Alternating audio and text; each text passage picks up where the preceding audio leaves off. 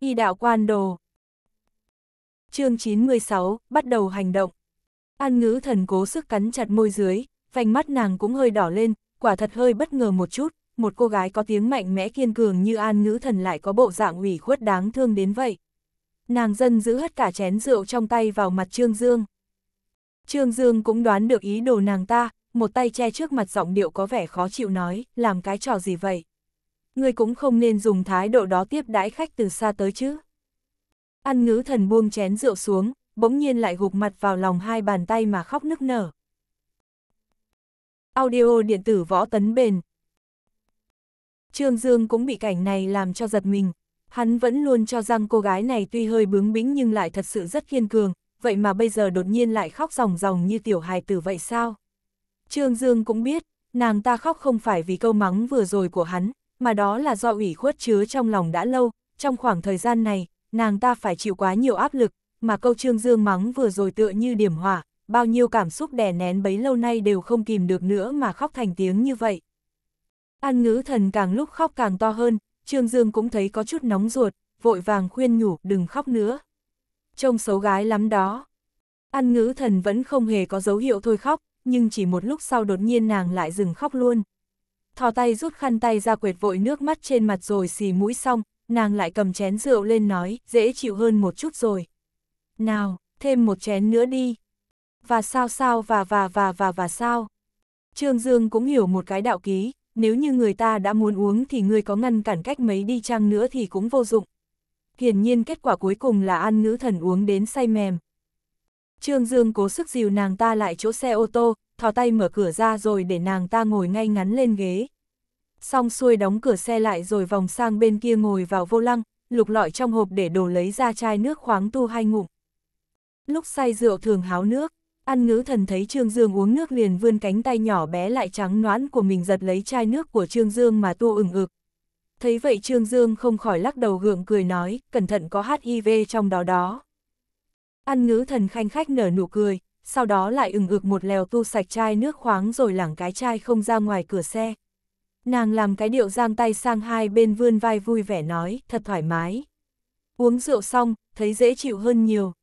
Trương Dương nói, tiểu yêu, ta vẫn tưởng ngươi là một người biết suy nghĩ, lại kiên cường cứng rắn, vậy mà có chút chuyện như vậy cũng khiến ngươi suy sụp là sao? An ngữ thần thả người dựa lưng vào ghế, lặng lẽ nhìn khoảng không phía xa trước mui xe, nhỏ giọng nói, từ trước tới giờ tình cảm giữa ta và cha cũng không được tốt cho lắm. Sau khi mẹ mất, ông ấy liền tìm một người phụ nữ khác, có gia đình khác. Từ nhỏ ta đã theo ông nội. Ánh mắt Trương Dương tràn ngập đồng tình nhìn An Ngữ Thần. Đến giờ Trương Dương mới biết vì sao giữa nàng ta với cha nàng lại có khoảng cách lớn đến như vậy, nguyên lai là ông ta đã có gia đình riêng. Từ nhỏ ta đã hận ông ấy, hận cả bà vợ kia, hận cả con ông ấy, hận cả cái gia đình đó bởi vì họ mà ta không còn cảm nhận được tình thương của cha. Nói đến đây, đôi mắt đẹp của An Ngữ Thần đã rơm rớm nước mắt, thế nhưng từ lúc ông ấy gặp nạn đến nay, ta mới phát hiện ra, sâu trong tim ta vẫn không thể quên được ông ấy, từ trước tới nay vẫn là ta tự lừa dối mình, dùng lòng hận thù che đi cảm tình thật sự của mình, ta, ta vẫn rất nhớ ông ấy, hai giọt nước mắt lặng lẽ lan dài trên khuôn mặt xinh đẹp của nàng. Trương Dương lại thấp giọng an ủi, vẫn còn cơ hội chắc chắn hai người các ngươi vẫn còn cơ hội nhận nhau. An ngữ thần lắc lắc đầu, ta không biết có thể sống đến bao giờ, không biết có thể sống đến lúc thấy cha ta được tự do nhìn ngắm bầu trời hay không. Ta sợ, sợ đến một tiếng gọi, cha cũng không gọi được nữa. Sẽ không như vậy đâu, Trương Dương nhỏ giọng khuyên nhủ, liếc nhìn đồng hồ một chút, thấy đã hơn 10 giờ tối, Trương Dương nói, để ta đưa ngươi về. Chỉ có điều ta lại không biết đường, người có thể chỉ cho ta không? Lúc này An Ngữ Thần cũng thấy hơi say, cố gắng vươn tay bấm bấm mấy nút cạnh màn hình, giọng nói mơ mơ màng màng nói cứ đi theo hướng dẫn trên bản đồ. Trước giờ Trương Dương có biết dùng bản đồ bao giờ đâu, hơn nữa trên màn hình lại toàn là tiếng Anh, tuy có hình vẽ nhưng Trương Dương cũng chẳng hiểu mô tê gì cả. Lúc nhìn kỹ lại mới thấy có cái mũi tên nho nhỏ chỉ đường, lúc này Trương Dương mới cho xe chạy chậm chậm theo hướng mũi tên chỉ. Bất quá cứ phải chú ý nhìn đường lại phải để ý cái mũi tên nhỏ kia, lái xe cực kỳ khó chịu vô cùng. Quay đầu nhìn sang bên cạnh, thấy An Ngữ Thần đã cuộn người ngả sang một bên trên ghế mà ngủ ngon lành, Trương Dương cũng chỉ đành lắc đầu thở dài ngao ngán.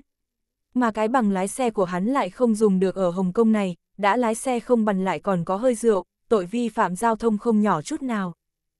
Chạy được một múc, phía trước liền xuất hiện chỗ giao nhau của vài ngã rẽ, Trương Dương lại phải cho xe chạy chậm lại, nheo mắt nhìn bản đồ hướng trên màn hình, thấy mũi tên chỉ hướng nào mới cho xe chạy tiếp về bên đó được.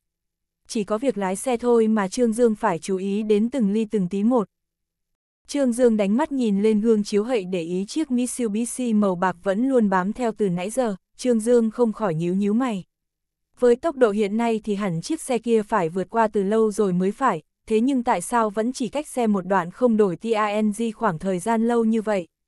Trương Dương cũng thấy hơi kỳ quái, thế nhưng đúng lúc này thì chiếc Mitsubishi kia liền xi nhan tấp vào lề đường. Lúc này Trương Dương mới thở dài một hơi, xem ra chỉ là mình nghĩ hơi nhiều.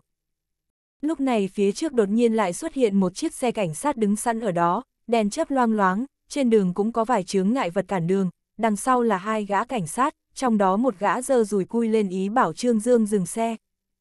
Trương Dương thầm kêu xui xẻo, mẹ nó chứ, vừa mới kêu đừng gặp xong thế nào lại thiêng đến vậy. Trương Dương vội với tay lay lay người an ngữ thần một chút nói, tiểu yêu, mau, mau, dậy, có cảnh sát.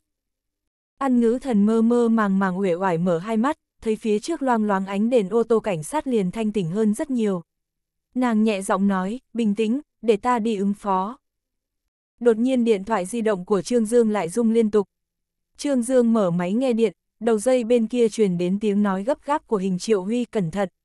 Trương Dương nghe xong cũng thấy hơi nao nao. Lúc này hai gã cảnh sát đi tới, một gã gõ gõ cửa kính xe phía bên phải, tiên sinh, phiền anh cho xem bằng lái xe cùng chứng minh nhân dân. An ngữ thần thấy có điều hơi lạ, hai gã cảnh sát này dường như không có làm điều cơ bản nhất của cảnh sát đo là giơ tay chào. Trong ngành cảnh sát thì điều đó gần như là bắt buộc, vậy mà hai gã cảnh sát này lại quên sao? An ngữ thần bỗng nhiên lên tiếng, rốt cuộc các ngươi là ai? Tên cảnh sát muốn kiểm tra bằng lái xe cùng chứng minh nhân dân của Trương Dương thấy An ngữ thần nói vậy ngay lập tức rút súng ra dơ lên, nhắm ngay đầu Trương Dương. Cũng bởi vì cú điện thoại nhắc nhở vừa rồi của hình triệu huy nên Trương Dương vẫn cảnh giác cao độ. Đối phương chưa kịp bóp cò, Trương Dương đã phản ứng thần tốc, chân ga đạp mạnh một phát chiếc Land Rover phóng vọt về phía trước, gã cảnh sát còn lại đứng chắn trước mũi xe chưa kịp làm gì đã bị tông bay tuốt về đằng sau rồi rơi thẳng vào cửa kính chắn gió chiếc xe cảnh sát đằng trước. Dầm một tiếng, cửa kính xe vỡ vụn thành từng mảnh nhỏ. Vì Trương Dương đột nhiên nhấn ga chạy xe nên gã cảnh sát kia mất đi mục tiêu, bắn trượt vào cửa kính xe Trương Dương, viên đạn lại xuyên tiếp xuống cửa kính chắn gió phía sau xe. Chỉ nghe xoảng xoảng hai tiếng liên tiếp, mảnh vụn kính bay toán loạn. Trương Dương nổi giận gầm lớn một tiếng, cái con mẹ nhà ngươi chứ. Chân ga vẫn đạp hết tốc lực, chiếc Land Rover sau khi tông gã cảnh sát kia xong vẫn không dừng lại mà vẫn điên cuồng lao về phía trước. Ngay sau đó xe tiếp tục đâm bay mấy chướng ngại vật phía trước, trực tiếp tông thẳng vào mui chiếc xe cảnh sát đằng trước. Hiển nhiên do xe Trương Dương có tốc độ cao, lại đâm vào phần mép chiếc xe cảnh sát, nên chiếc xe cảnh sát kia liền văng sang một bên xoay vòng vòng. Gã cảnh sát kia vẫn chưa chịu dừng tay, vẫn bắn xối xả vào phía sau chiếc xe Trương Dương. Trương Dương giận dữ mắng lớn, cảnh sát Hồng Kông các người thích nổ súng lung tung như vậy sao? Khuôn mặt an ngữ thần cũng trắng bệch cả ra, nàng một bên vội vàng thắt dây an toàn, một bên trả lời Trương Dương, bọn chúng không phải cảnh sát. Lúc xe Trương Dương vừa lao đi cùng với tiếng súng nổ thì chiếc Mitsubishi màu bạc lúc nãy đỗ ở bên đường cũng rú ga phóng đi đuổi ngay phía sau xe Trương Dương. Trương Dương liếc mắt nhìn gương chiếu hậu nghiến rằng nghiến lợi nói, mẹ nó, hôm nay không đại khai sát giới không được rồi. Cửa sổ chiếc xe Mitsubishi kia hạ xuống, một gã thò nửa người ra bên ngoài, trên tay là khẩu tiểu liên tôm sơn đang điên cuồng nã đạn vào xe Trương Dương. Từ lúc Trương Dương sống lại đến giờ, đã trải qua không ít lần đối mặt với tử thần, cũng có lúc đương đầu với súng đạn, thế nhưng cải khoản làm bia bắn của súng tự động thì là lần đầu tiên Trương Dương nếm trải, tuy rằng Trương Đại Quan Nhân có võ công cái thế, thế nhưng than thể hắn vẫn là xương là thịt, chứ không phải mình đồng ra sắt, đối mặt với mưa bom bão đạn kiểu này thì cũng chỉ có nước chuồn lẹ. Chỉ có điều, với tay lái của Trương Dương thì việc cắt đuôi chiếc Mitsubishi bạc phía sau là không thể. Chiếc Mitsubishi phía sau càng đuổi gần xe của Trương Dương, mà gã kia vẫn nã đạn liên tục, căn bản chưa dừng lại chút nào. Điều gì tới hẳn sẽ tới, không bao lâu sau lốp phía sau xe của Trương Dương bị dính đạn liền nổ ngay. Ngay lập tức Trương Dương cảm thấy không khống chế được ô tô nữa, liều mạng xoay một vòng, hy vọng có thể điều khiển lại xe. nhưng là lực bất tong tâm, do một chiếc lốp đằng sau đột nhiên phát nổ nên cả xe mất đi thăng bằng nghiêng hẳn về một bên. Tiếp đó chiếc xe lộn nhào thêm ba vòng nữa rời nảy lên không trung, xe bị lật ngược lại, phần mái nặng nề rơi cái ẩm xuống mặt đường, tiếp đó xe còn bị lê trên mặt đường thêm 10 mét nữa mới dừng lại.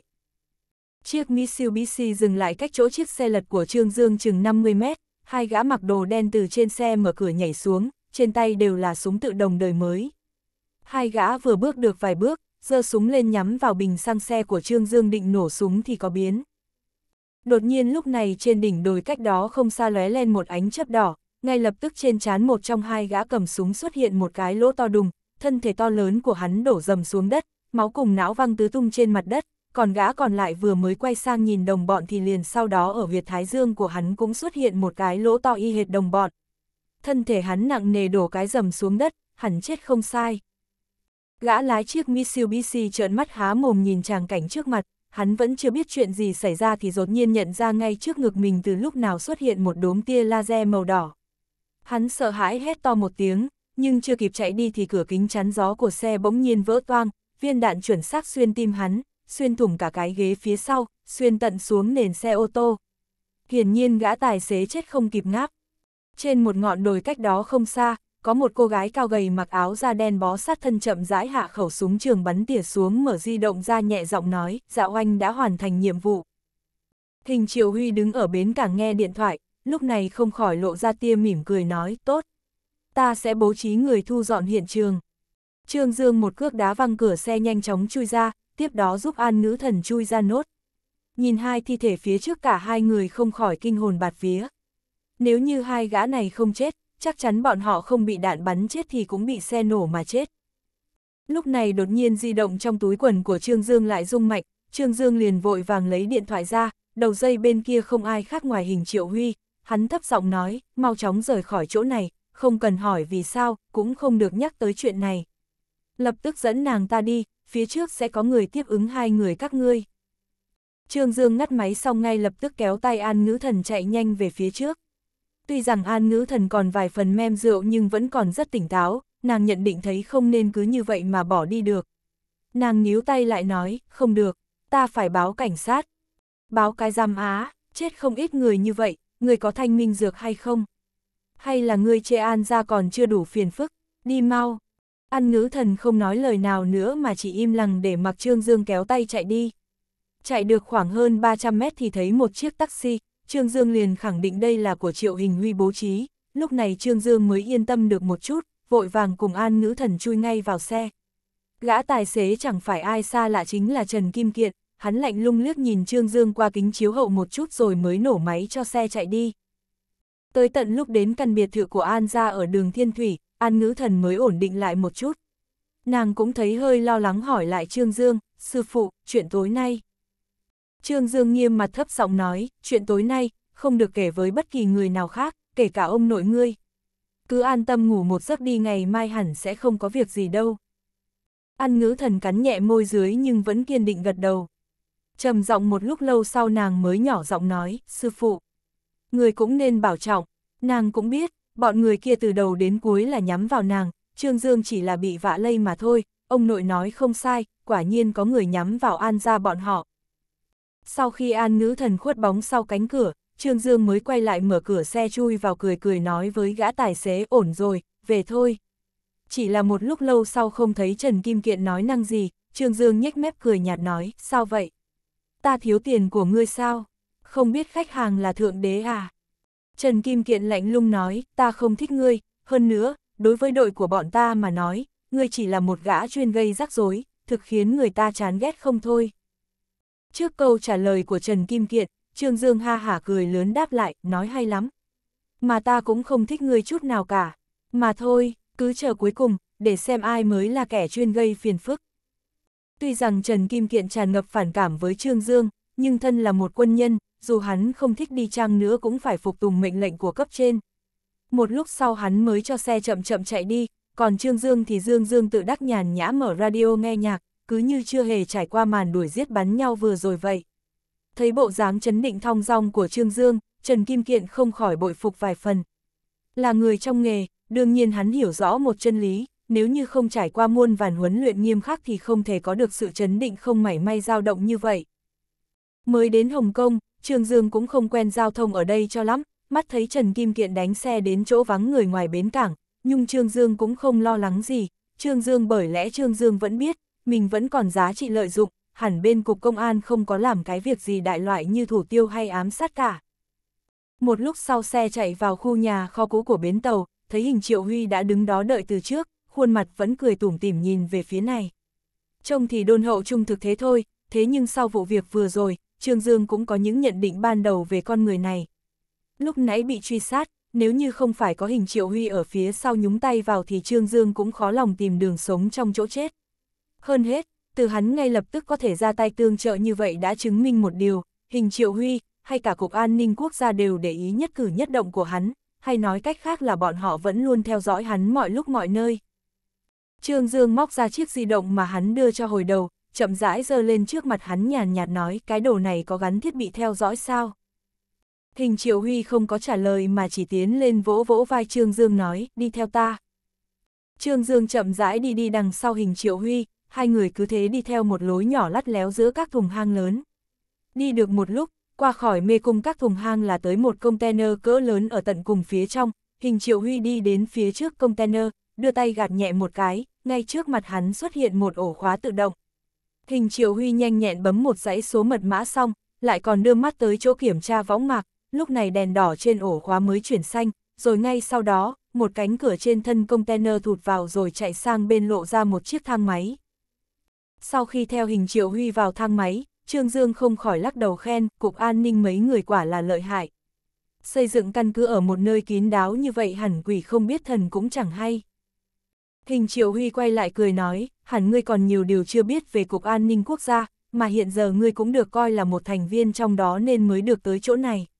Chỉ có điều, ngươi phải nhớ kỹ một điều, những thứ ngươi nhìn thấy, nghe thấy, tuyệt đối không được nói cho người ngoài biết, bằng không sẽ gặp nhiều rắc rối lắm đó. Là uy hiếp ta sao? Hình Triệu Huy ha hả cười nói, ta ghét nhất là uy hiếp dọa nạt người khác. Chỉ có thành thành thật thật mới có thể duy trì sự hợp tác bền lâu, người nói có phải không? Dương nhiên Trương Dương cũng chẳng thèm tin vào mấy lời này của hắn, đội trưởng hình, có điều này ta vẫn thắc mắc mãi không thôi. Nếu như các người vẫn một mực theo dõi ta từ đầu chí cuối, vậy tại sao lúc bọn ta gặp nguy hiểm lại không thèm báo trước một tiếng? Hai gã cảnh sát vừa rồi chẳng phải suýt chút nữa là lấy cái mạng nhỏ này của ta rồi sao? Hình Triều Huy nói, bọn họ không phải cảnh sát, mà là sát thủ của hội tam hợp ở Hồng Kông mời tới, lúc bọn ta biết được tin này thì cũng đã chậm mất một bước, liền đó ta phụ trách để dạ oanh phụ trách chuyện này. Nếu là nàng ta hẳn có thể bảo đảm an toàn cho hai người các ngươi. Dạ oanh, là ai vậy, có thể cường hãn như vậy sao? Chính là ân nhân cứu mạng các ngươi vừa rồi. Ra khỏi thang máy là đến phòng thí nghiệm, có hai gã áo dài trắng đang loay hoay cắm cúi làm cái gì đó, bên cạnh là máy móc thiết bị mà Trương Dương chẳng biết. Mấy chỗ này Trương Dương cũng từng thấy qua trong phim Điệp viên 007, nhưng thật không ngờ quốc gia cũng có một nơi như vậy. Hình Triệu Huy quay lại giải thích, vì công việc đặc thù của Cục Anh ninh Quốc gia bọn ta nên phải nắm bắt khoa học kỹ thuật tiên tiến để phục vụ nghiệp vụ. Bọn họ đều là những nhà bác học nổi tiếng về lĩnh vực quân sự đó. Đột nhiên Trương Dương nhớ ra điều gì đó, nhíu nhíu mày nói, hiện trường vụ bắn vừa rồi xử lý sao giờ? Yên tâm, bọn ta đã thu dọn sạch sẽ, hơn nữa Hồng Kông cũng tiến hành phối hợp, chỉ cần hợp tác với bọn ta, người không cần lo chuyện gì khác. Trương Dương cũng nhìn ra thâm ý trong câu nói của hình Triệu Huy. Đây là hắn đang nhắc khéo Trương Dương, nên ngoan ngoãn hợp tác với bọn họ, bằng không thì dấu phận của ngươi cũng chẳng khác gã vừa nãy đâu.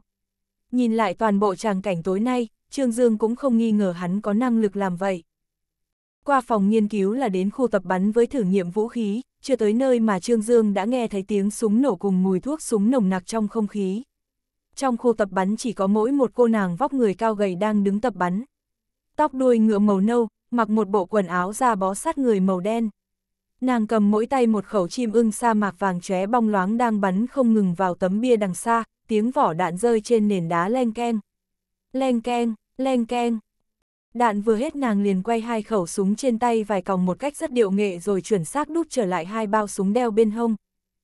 Nàng bỏ bịt tai cùng kính bảo vệ mắt xuống, xoay người lại nhìn hai người trương dương. Da nàng trắng như tuyết, đôi mi thanh tú, hai mắt lại màu xanh biếc cùng chiếc mũi cao, cả người nàng toát lên vẻ thành thục lại cao ngạo. Nàng tên Dạ Oanh, là nhân viên tình báo thuộc đội Anh ninh quốc gia số 4.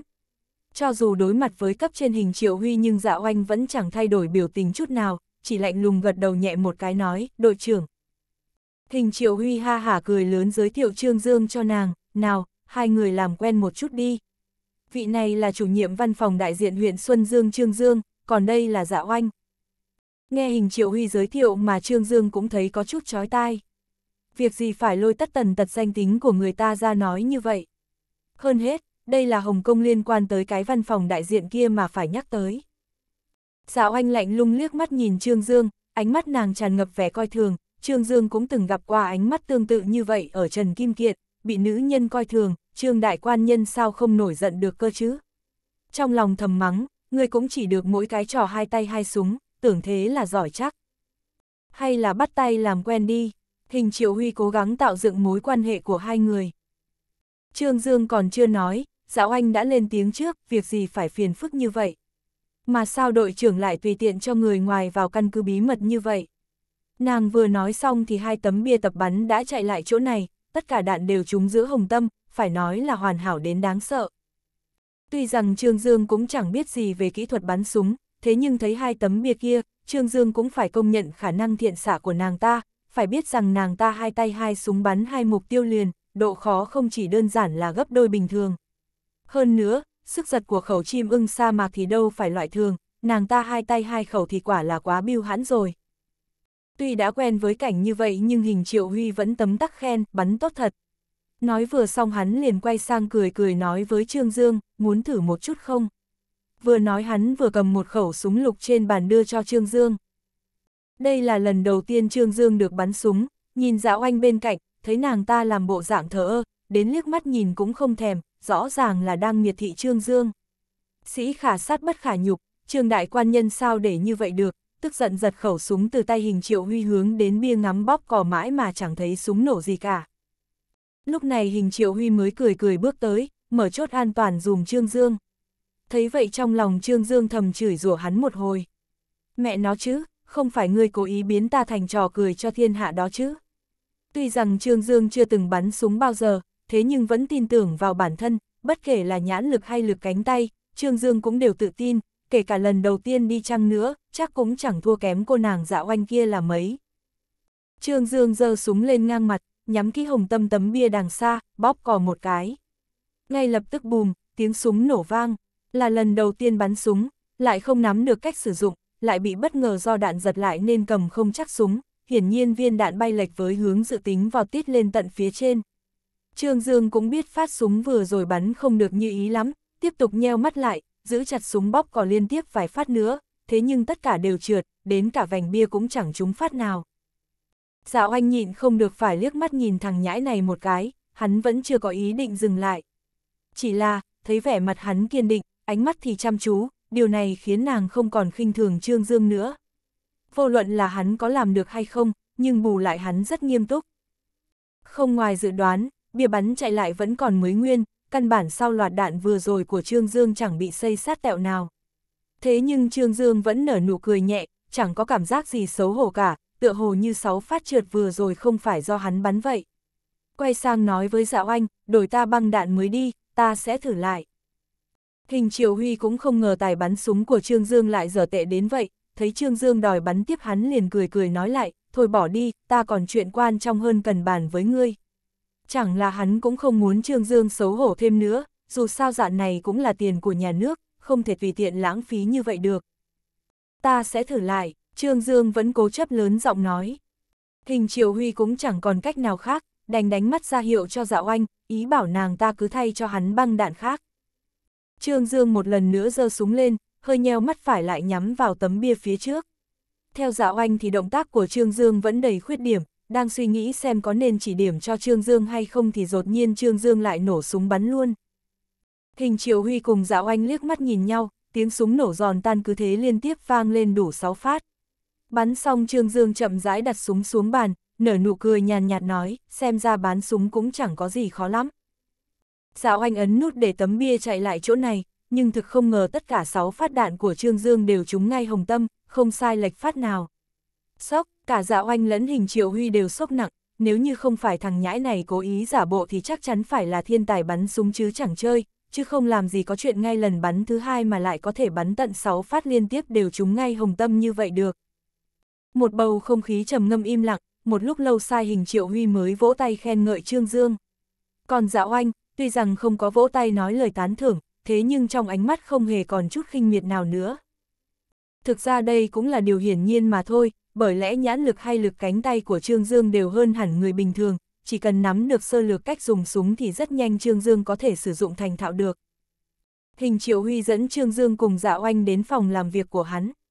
Hắn ra ý bảo Dạ Oanh đóng cửa lại rồi lấy mấy tấm ảnh trong ngăn bàn ra cho vào máy chiếu. Trương Dương nhìn thấy căn nhà trong ảnh có chút quen quen, nhất thời cũng không nhận ra đây là đâu. Hình Triều Huy nói, đây là biệt thự của An Chí Viễn ở đường Thiên Thủy, mấy ngày nữa chỗ này là nơi tổ chức tiệc thượng thọ của An Chí Viễn. Hắn chỉnh phóng to khu vườn đằng trước căn biệt thự lên nói tiếp, An Chí Viễn thường tổ chức các buổi tiệc chiêu đãi khách ở đây, hầu hết thành phần tham gia đều là mấy lão già của tín nghĩa đường. Trương Dương chăm chú nhìn mấy bức hình chiếu trên tường, đến giờ Trương Dương vẫn chưa rõ ý định của hình triệu huy muốn gì. Hình triệu huy đổi tiếp sang bức ảnh kết cấu của An Chí Viễn, căn biệt thự của An Chí Viễn có rất nhiều phòng, các người phải nhớ kỹ kết cấu căn nhà này.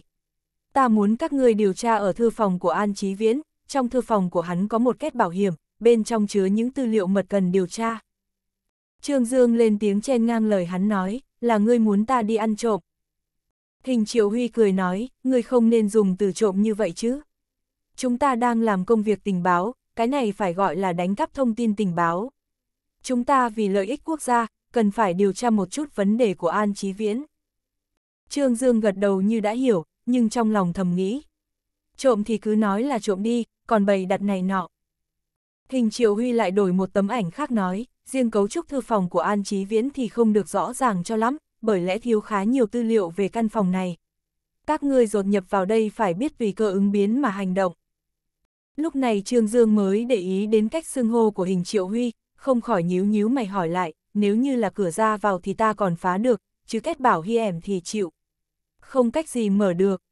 Hình Triệu Huy mỉm cười nói, bởi vậy ta mới kêu dạo anh hỗ trợ ngươi điều tra. Trương Dương không khỏi liếc mắt nhìn sang dạo anh, thảo nào lúc nãy hắn ta nhiệt tình giới thiệu mình với nàng ta như vậy, nguyên lai có chủ đích từ trước.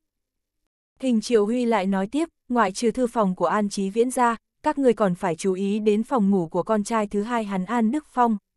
Gã này vài năm gần đây được nắm quyền phát ngôn của tập đoàn Thế kỷ An Khang, gần như mọi vấn đề của tập đoàn đều do hắn nắm giữ. Hắn là một người khôn khéo, lại có tâm cơ thâm trầm. Bọn ta nghi ngờ những việc làm ăn phi pháp của tập đoàn An Khang đều liên quan đến hắn. Nói cách khác, lần này An Đức Minh bị bên công an kinh tế bắt giữ điều tra, 89 đều do An Đức Phong gây ra. Hắn dừng lại một chút rồi nói tiếp, từ lúc An Đức Minh gia nhập ngành cảnh sát vẫn làm việc rất siêng năng lại luôn cẩn trọng, đặt quyền lợi chung lên trên quyền lợi cá nhân. Lần này bị bên công an kinh tế bắt giữ cũng là vì có người mật báo, mà từ lúc bị bắt tới nay hắn vẫn không chịu khai bất cứ tin tức gì. Bọn ta suy đoán rằng hắn làm vậy là chịu hy sinh bản thân để bảo vệ gia tộc. chương 917, Hào môn ân oán. Trương Dương nói, nói như vậy thì An Đức Minh cũng không phải là một người xấu. Hình chiêu huy mỉm cười, có phải là người xấu hay không thì không phải chúng ta có thể dùng cảm quan của mình để nhận định. Có thể hắn tốt với gia tộc hắn nhưng chưa chắc với bên ngoài cũng như vậy. Muốn xem hắn có làm tổn hại tới lợi ích của của Hồng Kông, lợi ích của quốc gia hay không. Ta đã nói với người rồi, những cán bộ quốc gia chúng ta chỉ cần một thứ, đó là chứng cứ. Dạ Oanh nói, trong phòng ngủ An Đức Phong có một bộ máy tính, rất nhiều sự việc bí mật hắn đều lưu lại trên đó. Hình chiêu huy nó, an ninh của An gia phải nói là thực sự quá tốt, toàn bộ khu nhà đều được lắp đặt camera. Đợi khi buổi tiệc bắt đầu, chúng ta sẽ phụ trách vấn đề làm rối loạn hệ thống an ninh, các người phụ trách lẻn vào, nhất định trong thời gian quy định phải hoàn thành nhiệm vụ. Hình Chiêu Huy nói, hành động cụ thể sẽ do dạ oanh hướng dẫn ngươi, ta sẽ chỉ huy ứng biến tình hình. Trương Dương hỏi, có đúng là xong việc này là sẽ hoàn thành nhiệm vụ không? Hình Chiêu Huy gật đầu nói, không sai, chuyện này làm xong, ngươi sẽ không còn việc gì, ta sẽ mau trinh an bài ngươi trở về nội địa, đáp ứng chuyện của ngươi, đồng thời cũng sẽ thanh toán chi phí. Hắn không bỏ qua cơ hội để tung mồi ra, mồi càng lớn sức hút với thằng nhãi này cắt nhiều, càng tạo cho hắn động lực để hoàn thành công việc. Nói xong hình chiêu huy đứng dậy nói, ta còn có việc khác. Dạ oanh, có vấn đề gì ngươi chỉ đạo hắn? Hình chiêu huy đi rồi, dạ oanh liếc mắt nhìn Trương Dương, hiện tại ta muốn nói cho ngươi mấy quy tắc thế này, thứ nhất là nguyên tắc bảo mật, tất cả hành động ngươi tham dự cùng đội quốc an phải tuyệt đối giữ bí mật nghiêm ngặt, vô luận là lúc nào, ở đâu cũng không được tiết lộ cho bất kỳ ai. Nếu không thì hậu quả của ngươi sẽ rất thê thảm. Trương Dương khinh khỉnh cười, dạ oanh lại nói tiếp, thứ hai, ngươi tuy rằng là thành viên tạm thời, nhưng cũng phải nhớ kỹ, lợi ích của Tổ quốc vĩnh viễn phải đặt lên hàng đầu, ngàn vạn lần đừng có đem điều đó đặt xuống phía dưới lợi ích cá nhân ngươi. Sao nghe có chút giống mùi xã hội đen thế nhỉ? Dạo anh không thèm để ý tới lời châm chọc của hắn, ta đối với ngươi sẽ huấn luyện một chút, cho ngươi có thể tường tận hiểu thế nào là công tác tình báo. Dạo anh cùng Trương Dương đi tới văn phòng, nếu Trương Dương đã là thành viên của tổ chức, vậy thì cũng cần phải trang bị cho hắn. Trương Dương rất nhanh chóng phát hiện ra Cục Quốc an xuất thủ thực sự là mạnh tay, để cho hắn tham dự buổi tiệc mừng thọ an lão này, đã chuẩn bị riêng cho hắn một bộ y phục, từ áo sơ mi tới bộ vest tông, từ giày tây tới cà vạt, tất cả đều là hàng có đẳng cấp, ngẫm lại thì thực sự là có ngồi ở cái ghế cán bộ phụ cấp cả đời cũng không được đãi ngộ như thế. Dạo anh đưa một cái đồng hồ đeo tay, chiếc đồng hồ này là đã được đặc chế qua, không chỉ đơn thuần với chức năng cơ bản của một chiếc đồng hồ là hiển thị thời gian, mà nó còn là một cái máy chụp hình mini, micro và có gắn thiết bị định vị. Đây là vì trong tiệc mừng thọ an lão không cho phép khách nhân mang điện thoại vào nên phải trang bị cho chiếc đồng hồ như thế. Ngoài ra, chiếc đồng hồ còn có thể phóng tia laser, cắt kim loại, cái này là lấy ý tưởng từ bộ phim Điệp viên 007, Cục Khoa học Hình sự Nghiên cứu phát triển thành. Trương Dương đeo cái đồng hồ lên tay, ngắm nghía rồi cười nói, có cảm giác giống tôn ngộ không đeo vòng kim cô quá, đeo vào hẳn không thể thoát khỏi thần chú của các ngươi rồi. Dạ oanh nói, chỉ là phương tiện liên hệ thôi, không phải suy nghĩ nhiều. Ngươi cũng không cần phức tạp hóa nhiệm vụ lên, chúng ta an bài ngươi vào tiệc mừng thọ chủ yếu là yểm hộ cho hành động của ta. Còn lại ngươi không cần phải lo lắng. Nghe thì hình như đúng là đơn giản thật. Ngay cả chuyện này ngươi cũng cảm thấy khó không? Trương Dương có hứng thú nhìn Dạ Oanh, ta nói nhà đầu, có đúng ngươi cứu ta là ngươi không? Dạ Oanh đạm nhiên cười nói, ta là chỉ vì hoàn thành nhiệm vụ mà thôi, không cần phải cảm ơn, cũng không cần phải coi ta là ân nhân cứu mạng. Bất quá phản ứng của ngươi coi như linh hoạt, với cự ly gần như thế mà vẫn có thể né được đường đạn của sát thủ. Trương Dương có chút nghi hoặc, người cũng thấy tại sao không hạ hắn sớm. Dạo anh nói, ta là muốn kiểm ta một chút, người được lựa chọn đến tột cùng có phải là một tên như thế nào. Giả như ta phản ứng chậm một chút vậy thì bây giờ hẳn là toi mạng rồi. Vậy thì chứng minh ngươi không thích hợp cho kế hoạch của chúng ta, chết không đáng tiếc. Dạo anh lạnh lùng đáp. Trương Dương trong lòng thầm mắng đúng là đò tiểu kỹ nữ máu lạnh, bất quá nghĩ lại, bây giờ còn ai nói tình với nghĩa nữa chứ. So ra mà nói, Trương Đại Quan Nhân thích cải kiểu đấu tranh bằng trí tuệ và tâm lý trên quan trường, đánh mà không đánh, không đánh mà thắng. Công tác của Cục Quốc an tuy rằng rất kích thích, bất quá nguy hiểm không ít, không thích hợp cho một người bình thường. Hắn mỉm cười nói, có thể hỏi ngươi một chuyện riêng được không? Ngươi tên gì? Ngươi hỏi cái tên nào? Ta rất nhiều thân phận, cũng rất nhiều tên. Hiện tại đó, Lip, mẹ là người Pháp, cha là người Trung Quốc, gia tộc đằng ngoại kinh doanh dầu mỏ tại Trung Đông, tài sản khoảng hơn 200 triệu đô la. Dạ Oanh vừa nói vừa đưa ra một bản hộ chiếu cho Trương Dương. Trương Dương nhìn một chút cái hộ chiếu, bất quá trên đó toàn là tiếng nước ngoài, hắn không hiểu gì, chỉ thấy một cái ảnh chụp đó là Dạ Oanh, trong đầu nghĩ hẳn là thân phận này của nàng do Cục Quốc an tạo ra. Dạ Oanh nói, sau này ta sẽ lấy thân phận bạn gái ngươi cùng dự tiệc mừng thọ an lão. Trương Dương trợn mắt, ta kháo, không đến mức ấy chứ. Có ma mới tin điều này. Hắn từ lúc sống lại tới giờ bây giờ mưa oi tới Hồng Kông lần đầu, làm sao có thể quen biết một cô bạn gái thân phận thế này. Lẽ nào cho rằng người khác đều ngu si cả sao? Dạo anh nói, chúng ta là quen biết ở Bắc Kinh, lý lịch cẩu ta cũng từng tới Bắc Kinh du lịch rồi. Sự cố trời mưa ở cố cung, cho nên kết duyên. Trương Dương nghe xong thực sự là bái phục năng lực dựng chuyện của đám người cục quốc an này, thế nào lại nghe giống cố sự của hắn và giai đồng thế, Trương Dương nói, hình như vẫn hơi quá mức nhỉ, hiện tại quan hệ đã phát triển tới mức nào rồi. Dạ Giáo anh đạm nhiên nói, ta là hôn thê của ngươi. Cái gì, Trương Dương suýt thì lòi cả tròng mắt ra ngoài. Biểu tình của dạo anh vẫn ung dung, cũng không phải là hôn thê thật đâu, chỉ là lấy thân phận để cùng ngươi tham dự thọ yến của An Lão thôi. Ngươi yên tâm, vì lợi ích quốc gia, ta chịu thiệt thòi một chút cũng không sao. Hiện tại là ta ủy khuất mới đúng, một đời anh danh cậu ta bị hủy hoạt trong tay ngươi thì có, sau này các cô nương xinh đẹp thấy ta còn không lảng đi sao. Ta vẫn còn độc thân đó, mẹ kiếp, thật là quá oan uổng mà. Không có việc gì, chờ xong chuyện này coi như chúng ta chia tay thôi. Hiện tại coi như ta giúp ngươi lý giải nhân vật trọng yếu bên An Chí Viễn. Tuy rằng đã quá nửa đêm, An Chí Viễn vẫn không thể nào ngủ được, lão vẫn đang ngồi trong phòng làm việc. Con trai thứ hai An Đức Phong, con trai thứ năm An Đức Hằng đều lẳng lặng đứng ở đó. Cả hai đều đã trưởng thành, nhưng trước mặt phụ thân vẫn cực độ cung kính, quy củ. An Chí Viễn hút một hơi dài trên cái tàu thuốc, chậm rãi nhả khói, thanh âm lão trầm thấp, gần đây An ra chúng ta xảy ra rất nhiều chuyện ta nghĩ hẳn là các ngươi rõ ràng. An Đức Phong nói, cha, nhất định có kẻ nhầm vào An ra chúng ta, chúng muốn lật đổ An ra. An Chí Viễn thấp giọng nói, những năm gần đây, ta có không ít bằng hiếu, cũng không ít cửu nhân, nhưng bằng hữu thì còn sống mà cửu nhân thì đã chết cả. Lão dừng lại một chút, nhà một màn khói dày đặc, ta rửa tay chậu vàng đã 20 năm, 20 năm nay ra sức làm sạch hóa an ra, các người biết vì sao không? Không ai đáp lại hắn. Thanh âm an trí viễn đột nhiên lớn hơn, bởi vì ra ra các ngươi ngày xưa là một thổ phỉ, ra ra các ngươi không ít lần nói với ta làm thổ phỉ không thể có tiền đồ, làm thổ phỉ, làm cường đạo chỉ càng làm cho tổ tiên phải hổ thẹn, làm cho tử tôn phải gánh nhận lấy áp lực nặng nề và sự kỳ thị từ người khác. Ra ra các người muốn ta làm cho An gia trở lên vinh quang. Trước kia ta cũng cho rằng làm xã hội đen rất huy phong, thế nhưng sau này ta phát hiện ra, đi trên con đường này làm cho bản thân trở lên máu lạnh, nhưng lá gan lại ngày càng nhỏ đi.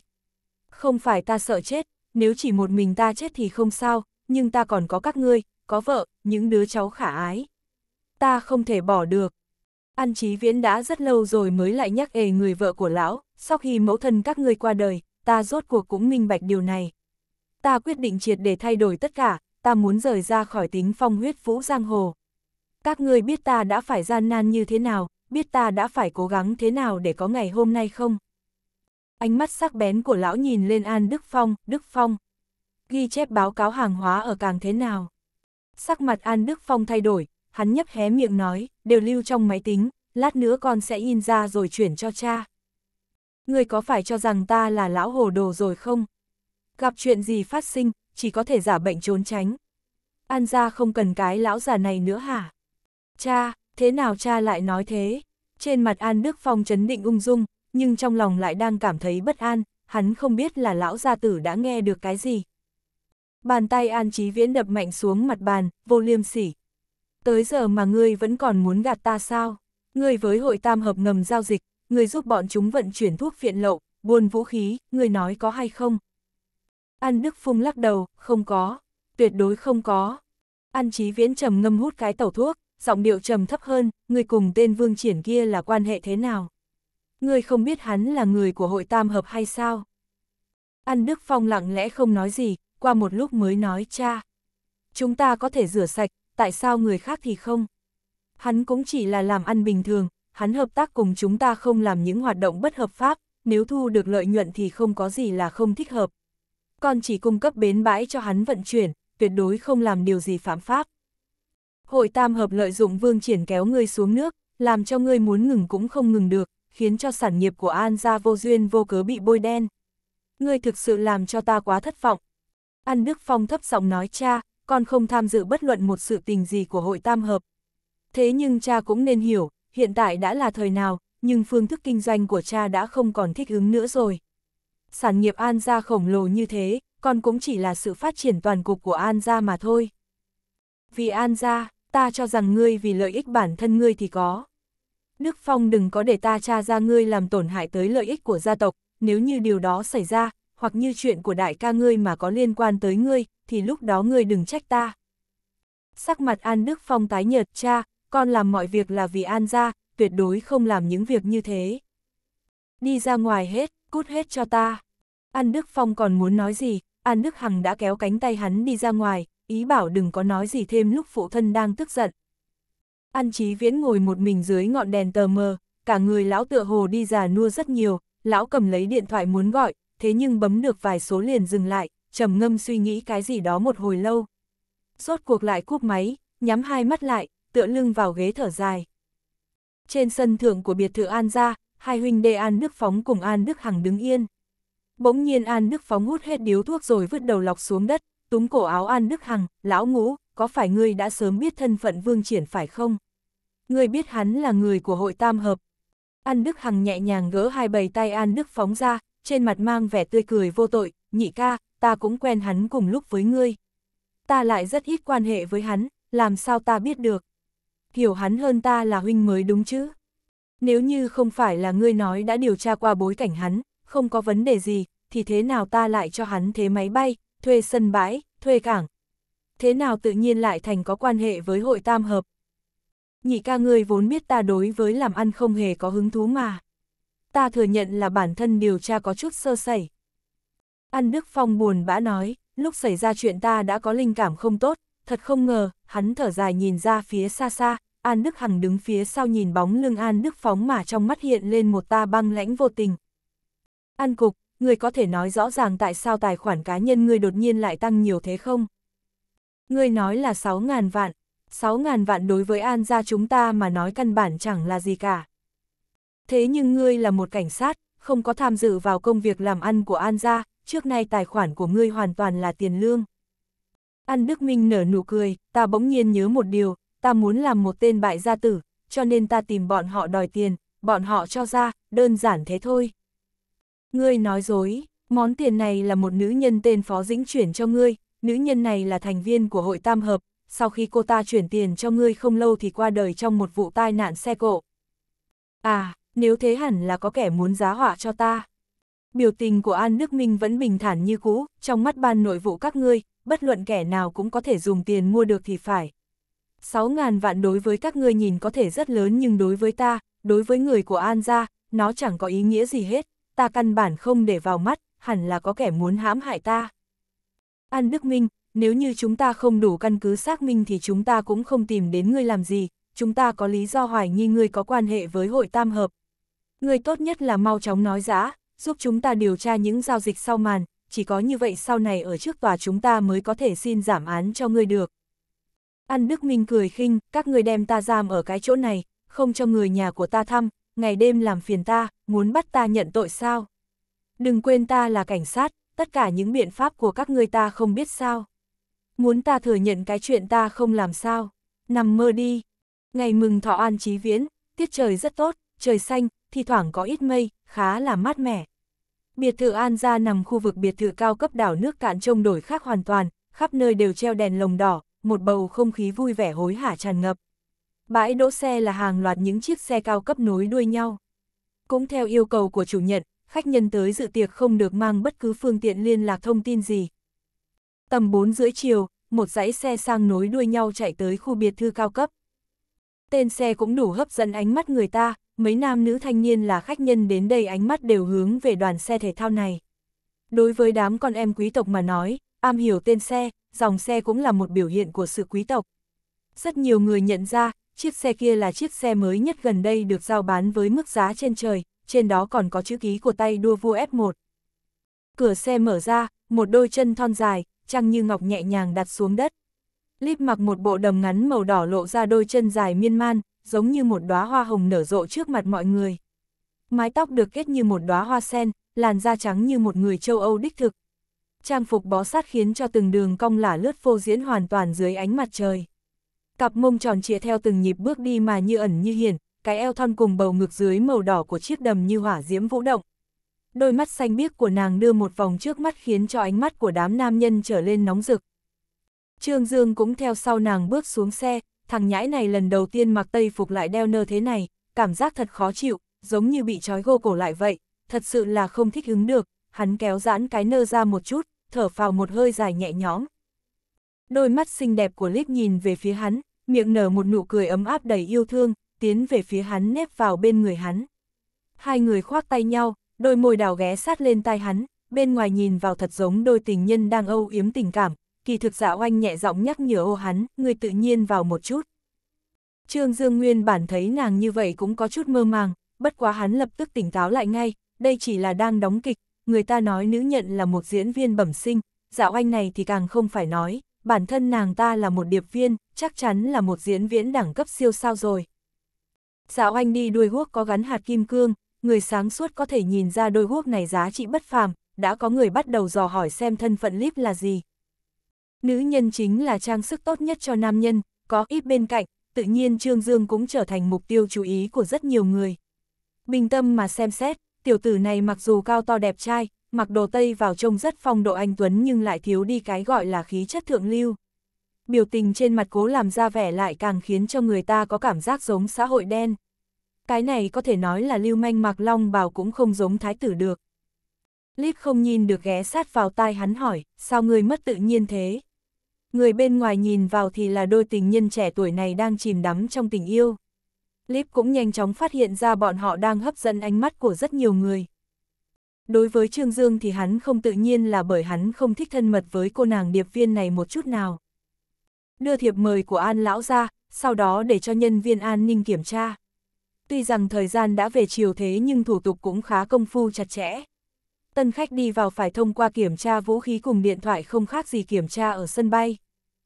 Bước vào trong bữa tiệc, Líp kéo tay Trương Dương đi về phía đám người An ra phía trước. An Chí Viễn đang đứng giữa nói chuyện vui vẻ với mấy người xung quanh, biểu tình trên mặt của lão không chút gì giống như đang bệnh cả, có thể thấy được tố chất mạnh mẽ của lão tới mức như thế nào. An ngữ thần hôm nay mặc váy, áo sơ mi trắng may kiểu cách, thoáng nhìn qua thật giống như một nữ sinh. Thấy Trương Dương cùng Líp khoác tay nhau đi tới, nàng hơi sửng sốt một chút, thật không thể ngờ được thằng nhãi này vừa mưa oi tới Hồng Kông đã câu được một mỹ nữ huynh quốc huynh thành như thế. Nhìn hình dáng Líp thì rõ ràng là có huyết thống châu Âu, An ngữ thần đi tới chỗ hắn mỉm cười cao giọng nói, sư phụ. Ngươi thật đúng giờ a Trương Dương cười cười, đang chuẩn bị giới thiệu nàng và Líp thì đã nghe Líp cất tiếng, đa linh, ta thế nào không biết ngươi còn có một vị đồ đệ xinh đẹp như thế này nhỉ? Hàng mày trao lại, đôi mắt đẹp khẽ hơi có chút bất mãn, phong tư ấy khiến cho ngay cả mấy nữ nhân gần đó cũng bị hấp dẫn, an ngữ thần cười đầy thầm ý. Trương Dương lúc này mứa oi giới thiệu, tiểu yêu, đây là Líp, còn đây là tiêu yêu đồ đệ của ta, cũng là cháu gái cậu an lão tiên sinh. Líp ôm cánh tay hắn, khuôn mặt xinh đẹp xấu hổ lép vào vai hắn, Trương Dương. Vì sao không giới thiệu quan hệ của chúng ta? An ngữ thần thực sự là cũng rất hiếu kỳ, không biết cô nàng xinh đẹp này có quan hệ thế nào với Trương Dương. Trương đại quan nhân rốt cuộc cũng nói ra trong vẻ ngại ngùng, Líp là vị hôn thê của ta. An Vũ Thần bật cười khanh khách, ngươi vừa mới tới Hồng Kông, thế nào sao lại đã có một vị hôn thê thế? Trương Dương mỉm cười nói, chúng ta quen nhau từ lúc còn ở Bắc Kinh. Một lần đi thăm cố cung, trời mưa vô tình đã tác hợp chúng ta. Thằng nhãi này kể lại với một giọng đầy xúc cảm, nói dối xong mà cảm tưởng chính bản thân hắn cũng phải tin mất. Líp như con chim nhỏ nép sát vào hắn mang theo vài phần ngường ngùng cùng hạnh phúc, làm cho Trương Dương không tự chủ được mà thắc mắc rằng không biết có phải mình đang chìm đắm trong tình yêu hay không. Trong mắt an ngữ thần thì chắc chắn là tên tiểu tử kia lại dùng thủ đoạn để lừa gạt con gái nhà người ta mà thôi. An Đức Hằng thấy Trương Dương đi tới, để ý thấy hắn hôm nay ăn mặc thực sự là rất trang trọng, lịch sự. Nhìn Trương Dương, nhưng ánh mắt lập tức bị thu hút bởi Líp, hắn hơi sửng sốt một chút sau đó mỉm cười nói, vị tiểu thư này xem rất quen, hình như chúng ta đã từng gặp nhau. Mùa hè năm nay, tại Casino Macau, lúc đó ngài đang thua cha ta 21 điểm. An Đức Hằng trợn hai mắt, ồ, thì ra là nữ nhỉ của Trung Tiên Sinh. Líp tiểu thư. Trương Dương có chút nghi hoặc, không lẽ An Đức Hằng đã từng gặp qua Líp? Hay thân phận dập này của cô ta đã thiết lập từ rất lâu trước? Ánh mắt Trương Dương bắt đầu để ý An Chí Viễn, nhưng phát hiện lão đã rời đi từ lúc nào chương 98, lang tử dã tâm. Một tiếng nổ cực mạnh vang lên khiến cho cả căn biệt thự cao cấp của An gia như rung chuyển, tất cả những cửa kính đều vỡ vụn. Chấn động mạnh khiến cho Trương Dương và Líp cũng mất thăng bằng đứng không vững, hai người lúc này vô ý thức bám chặt lấy nhau. Sắc mặt Trương Dương thay đổi, ánh mắt hắn trước hết nhìn xuyên qua cái cửa sổ mà cửa kính đã vỡ tan, hắn thấy cả hoa viên của biệt thự An gia đang chìm trong biển lửa, một vài người còn may mắn sống sót sau vụ nổ đang gào khóc tìm cách chạy trốn, cũng có rất nhiều người bị thương đang nằm trên mặt đất thống khổ kêu rên, cảnh tượng trước mắt thật sự vô cùng thê thảm. Đại môn phòng mở toang, hai gã mặc đồ đen tay cầm sung lục hung hổ lao vào. Không đợi bọn chúng có phản ứng, lip lập tức giơ khẩu sung mini giấu sẵn trong người lên, chuẩn xác trong một giây, cả hai gã đều mất mạng đổ gục xuống. lip lớn tiếng nói, bảo vệ cửa, không cho bất kỳ ai chạy vào trong. Nàng đi tới bức tranh treo tường, tháo bức tranh xuống, lộ ra kết sắt nước xây ẩn vào trong tường, sau đó lấy ra công cụ phá khóa bắt đầu tìm cách mở kết sắt. An Đức Phong mặt cắt không còn giọt máu, hắn hoàn toàn bị khung cảnh trước mắt làm cho sợ hãi tới ngây người. Giật mình thấy An Đức Hằng đi tới, hắn vội chạy vọt qua, túm cánh tay An Đức Hằng, Đức Hằng. Xảy ra, đã xảy ra, chuyện. Ta biết, biểu hiện của An Đức Hằng vẫn tỏ ra bình tĩnh chấn định, hắn mỉm cười, khóe miệng lộ ra một nụ cười lãnh khốc. Ngươi biết, An Đức Phong tràn đầy kinh ngạc nhìn hắn. An Đức Hằng gật đầu, bỗng nhiên hắn rút khẩu súng ra, bắn liên tiếp ba phát lên người An Đức Phong. An Đức Phong trúng ba viên đạn, ngã ra phía sau, thân thể không ngừng run rẩy, trong mắt tràn đầy vẻ kinh ngạc cũng khiếp sợ, giọng thều thào yếu ớt, lão ngũ, ngươi, ngươi. An Đức Hằng vỗ nhẹ nhẹ lên vai An Đức Phong, hắn mỉm cười nói, ta không phải họ An, yên nghỉ đi. An Đức Phong cuối cùng cũng gục đầu xuống tắt thở, máu chảy đỏ thấm cả khoảnh cỏ phía dưới hắn nằm. An Đức Hằng hít sâu một hơi, cất khẩu sung, ngồi sát xuống cạnh thân thể An Đức Phong tìm thứ gì đó. Hắn lục được một tấm cát, sau đó nhanh chóng cất vào trong người. Một tiếng cạch nhẹ nhàng vang lên, hàng mày thanh tú của líp cuối cùng cũng giãn ra, nàng đã mở được cái kết sắt. Kéo cánh cửa ra, bên trong chia làm hai ngăn, một tên là vàng bác châu bảo, công trái các kiểu, đối với những cái này líp chẳng hề có một chút hứng thú. Làm cho nàng hứng thú chính là đôn giấy tờ sổ sách, văn kiện bên ngăn còn lại. Nàng lấy chiến máy ảnh đặc chế ra cấp tốc chụp lại tất cả những giấy tờ này. Ngoài cửa lại có ba gã chạy tới, hỏa lực của ba khẩu súng quả là không nhỏ chút nào, cánh cửa phòng bị bắn lỗ chỗ như tổ ong. Trương Dương bị áp lực đó ép cho vô pháp phản kháng được, đành nằm tránh sang một bên lớn tiếng hỏi Líp, xong chưa? Líp chụp xong hết đống giấy tờ, cấp tốc cất lại như cũ, khóa lại kết sắt, gật đầu nói với Trương Dương, xong rồi. Một trái lựu đạn được ném vào trong phòng, Trương Dương nhìn cái cục đang lăn lông lốc kia không biết nó là cái gì. Đôi mắt xinh đẹp của Líp thì trợn tròn, vội lao ngay đến cạnh Trương Dương, ấn đầu hắn nằm sát xuống đất. Cùng lúc đó, quả lựu đạn kia cũng phát nổ, nổ mạnh khiến cho áp lực cường đại tỏa ra khắp mọi người. Thân thể hai người bị đẩy ngã lăn mấy vòng, vụn gỗ cùng mảnh thủy tinh găm đầy lên người bọn họ. Thân thể hai người vừa ép chặt lấy nhau, thành ra Trương Dương cảm nhận rõ ràng được bộ ngực mềm mại kinh nhân của lip ngay cả tại cái giờ phút sống chết này, tiểu tử này vẫn cư nhiên cảm thấy xung động. Nhưng lip thì khác, nàng mảy may không có một chút lơ là nào, cánh tay cầm sung dơ lên nhắm ra phía ngoài cửa bóp cò hai phát, một gã mặc đồ đen gục xuống ngay tại cửa phòng. Audio điện tử võ tấn bền.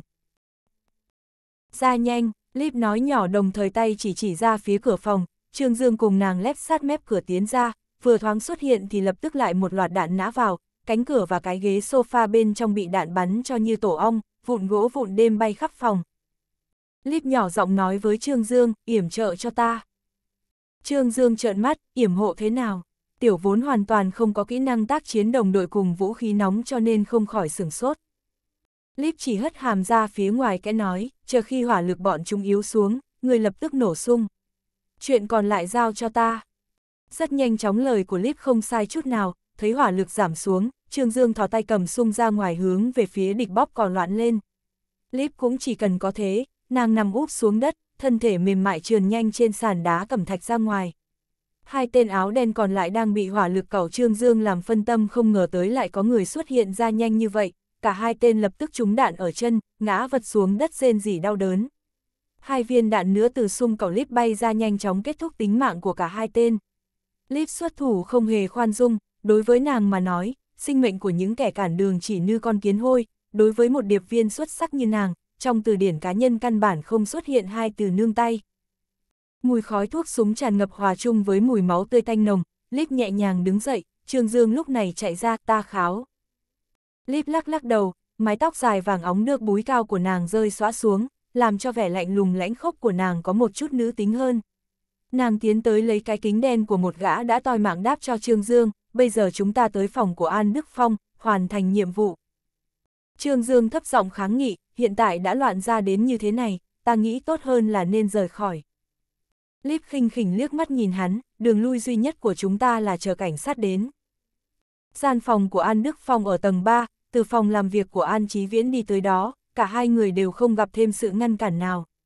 Trong lúc vừa đi, Lip vừa thử liên hệ lại với tổ chức xong không hề bắt được liên lạc, hành động đêm nay ngay từ lúc bắt đầu đã có xuất hiện những sai sót, hiện tại chỉ có thể dựa vào kế hoạch từ trước mà tiếp tục thực hiện. Bọn họ tìm được phòng An Đức Phong, tuy rằng hệ thống điện của khu nhà đã bị hư hỏng nặng, ngay cả căn phòng này cũng không có điện.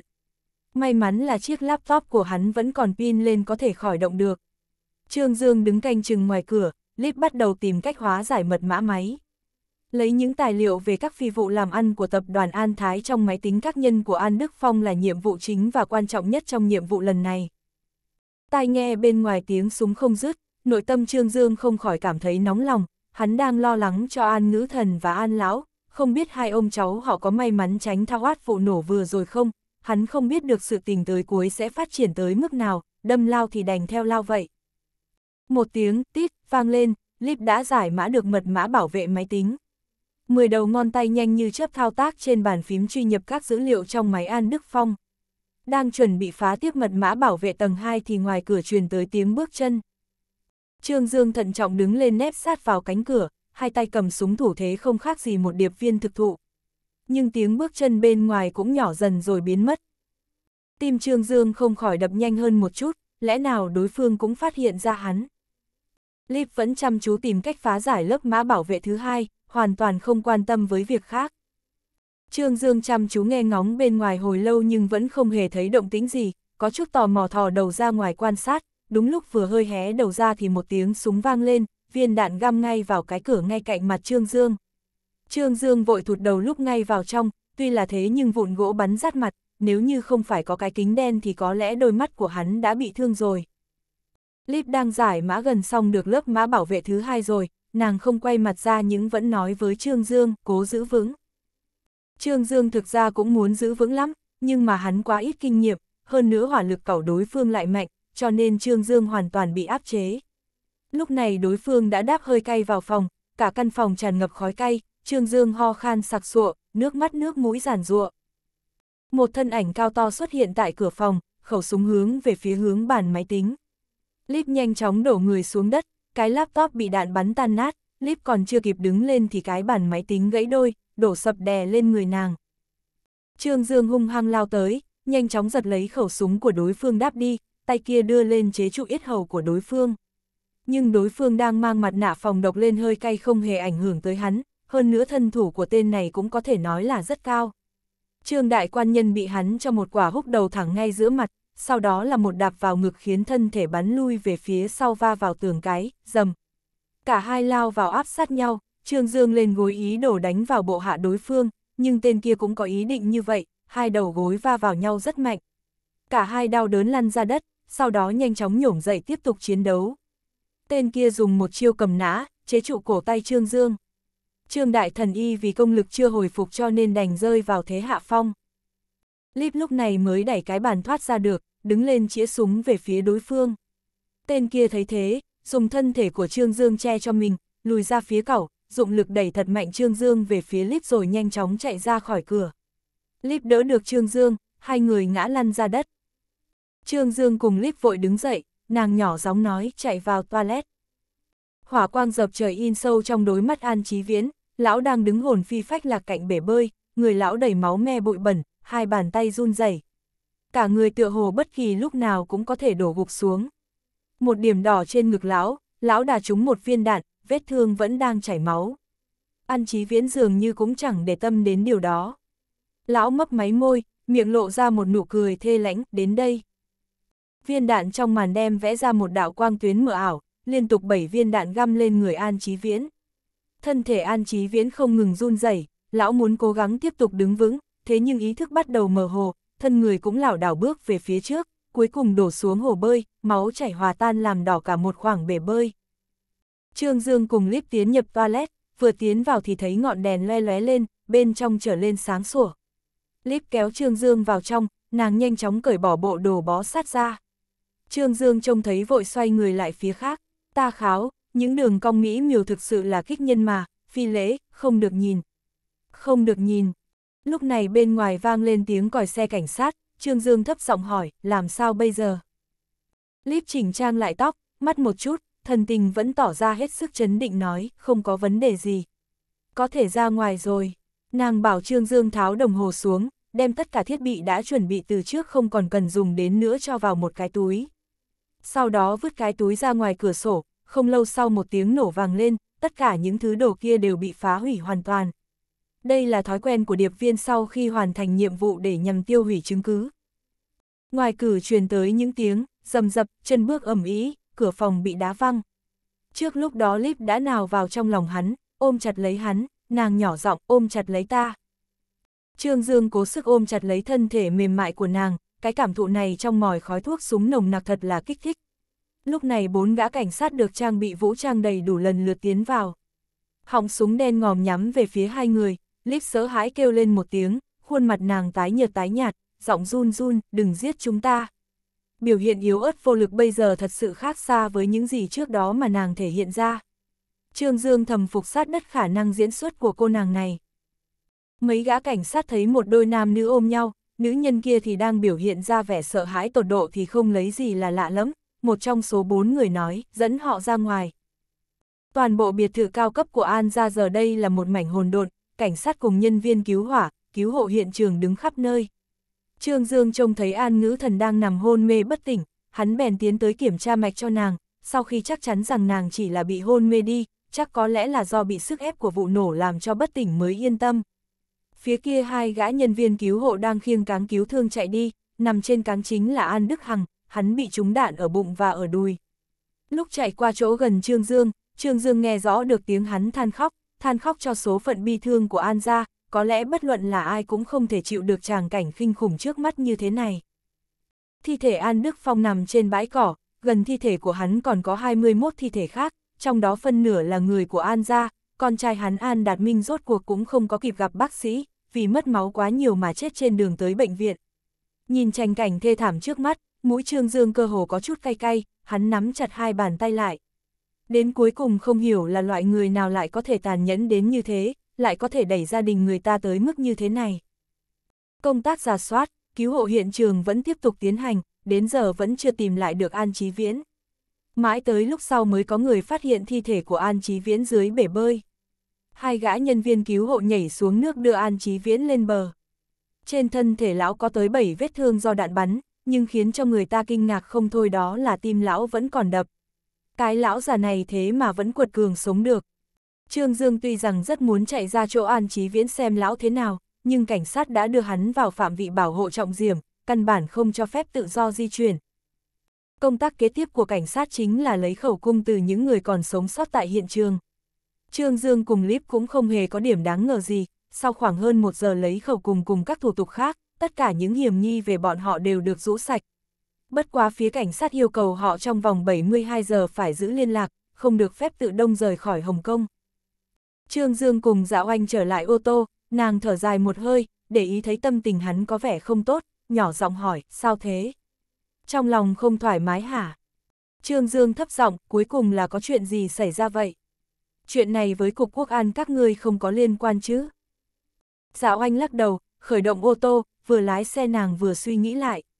Tất cả kế hoạch ngày hôm qua của Cục Quốc an chỉ là đánh cắp tài liệu làm ăn của An gia, nhưng ngày hôm nay ngay từ lúc đầu đã xuất hiện những tình huống ngoài dự liệu khiến cho tình thế trở nên không thể không chế được.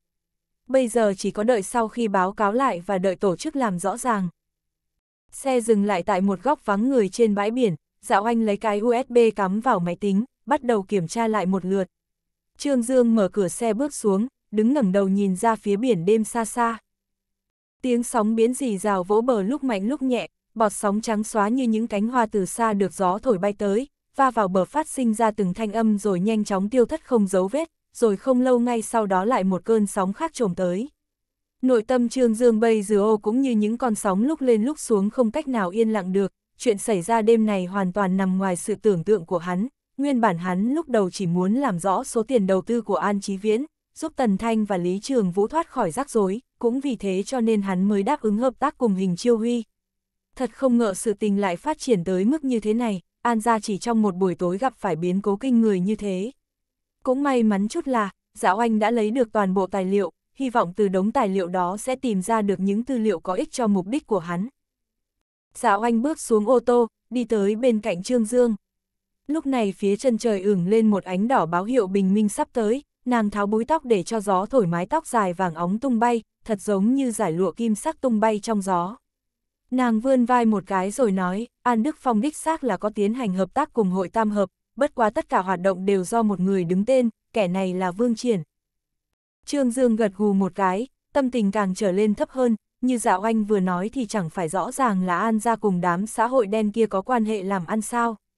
Nếu như thế thì rất nhiều khả năng là số tiền đầu tư về thanh thai sơn của An Lão cũng là tiền bẩn và có nguy cơ đó là nhằm mục đích rửa tiền, nói một cách khác thì vấn đề của Lý Trường Vũ và Tần Thanh sẽ trở lên khó giải quyết rồi. Dạo anh cười cười nói, bất quá theo như ta xem xét thì tất cả giao dịch này đều là An Đức Phòng len lén tiến hành mà không thông qua An Chí Viễn. Về việc đầu tư tại Thanh Thai Sơn, nguồn tài chính này rất rõ ràng cụ thể, không hề có một chút vấn đề nào. Hai mắt Trương Dương sáng rực, lần này cuối cùng cũng không có công cốc, thế nhưng nghĩ đến tình cảnh An ra hiện, niềm vui của hắn vừa mới nổi lên được một chút thì lại hạ xuống, hắn thở dài, hiện ta đang quan tâm kẻ hại An ra là ai. Cuối cùng dạo anh cũng liên lạc lại được với hình chiêu huy. Hình chiêu huy vội vàng hỏi thăm tình hình bọn họ, sau đó hẹn các người chờ ta ở đó, ta sẽ tới đó ngay. chương 99, lang tử giã tâm 2. Khoảng nửa tiếng đồng hồ sau, hình chiêu huy lái chiếc Toyota màu đen chạy tới bờ biên nơi Dạ Oanh và Trương Dương đang ở đó. Thần tình của hắn cũng rất uể oải, từ lúc liếc lạc gián đoạn, hắn đã hết sức thấp thỏm lo lắng chờ đợi, hắn đối với năng lực của dạ oanh đương nhiên tin tưởng, nhưng còn Trương Dương thì hắn thực sự là rất lo lắng. Hơn nữa nếu chuyện này để lộ ra ngoài, sẽ tạo thành ảnh hưởng cực kỳ không tốt, thấy hai người bình an thoát được, rút cuộc hình chiêu huy mới yên lòng. Dạ oanh đem tình huống báo cáo sợ bộ lại cho hình chiêu huy nghe. Sau khi nghe xong, hình chiêu huy thở dài nói, ngay trước lúc các ngươi vừa bắt đầu hành động, ta mới nhận được tin báo hội tam hợp sẽ ra tay hạ thủ an ra, thật đáng tiếc vì không thể nào liên lạc kịp. Dạ oanh nhíu nhíu mày, tại sao liên lạc của chúng ta lại gián đoạn? Hình chiêu huy thấp giọng đáp, ta đang điều tra. Dạ oanh nói, hội tam hợp có lẽ cũng như chúng ta là muốn những tài liệu này, chỉ có điều bọn chúng Red Eye là hủy diệt tất cả. Ta nghĩ, có lẽ có người làm lộ kế hoạch cho bọn chúng. Người hoài nghi trong chúng ta có nội gián. Dạo anh thở dài, vấn đề này không quan hệ tới ta, nói nhiều cũng vô ích. Dù sao thì nhiệm vụ cũng hoàn thành rồi, người có thể mang những thứ này đi báo cáo cho cấp trên đi, cái ghế trưởng ban số 4 của Cục Quốc An hẳn là sẽ thuộc về ngươi rồi.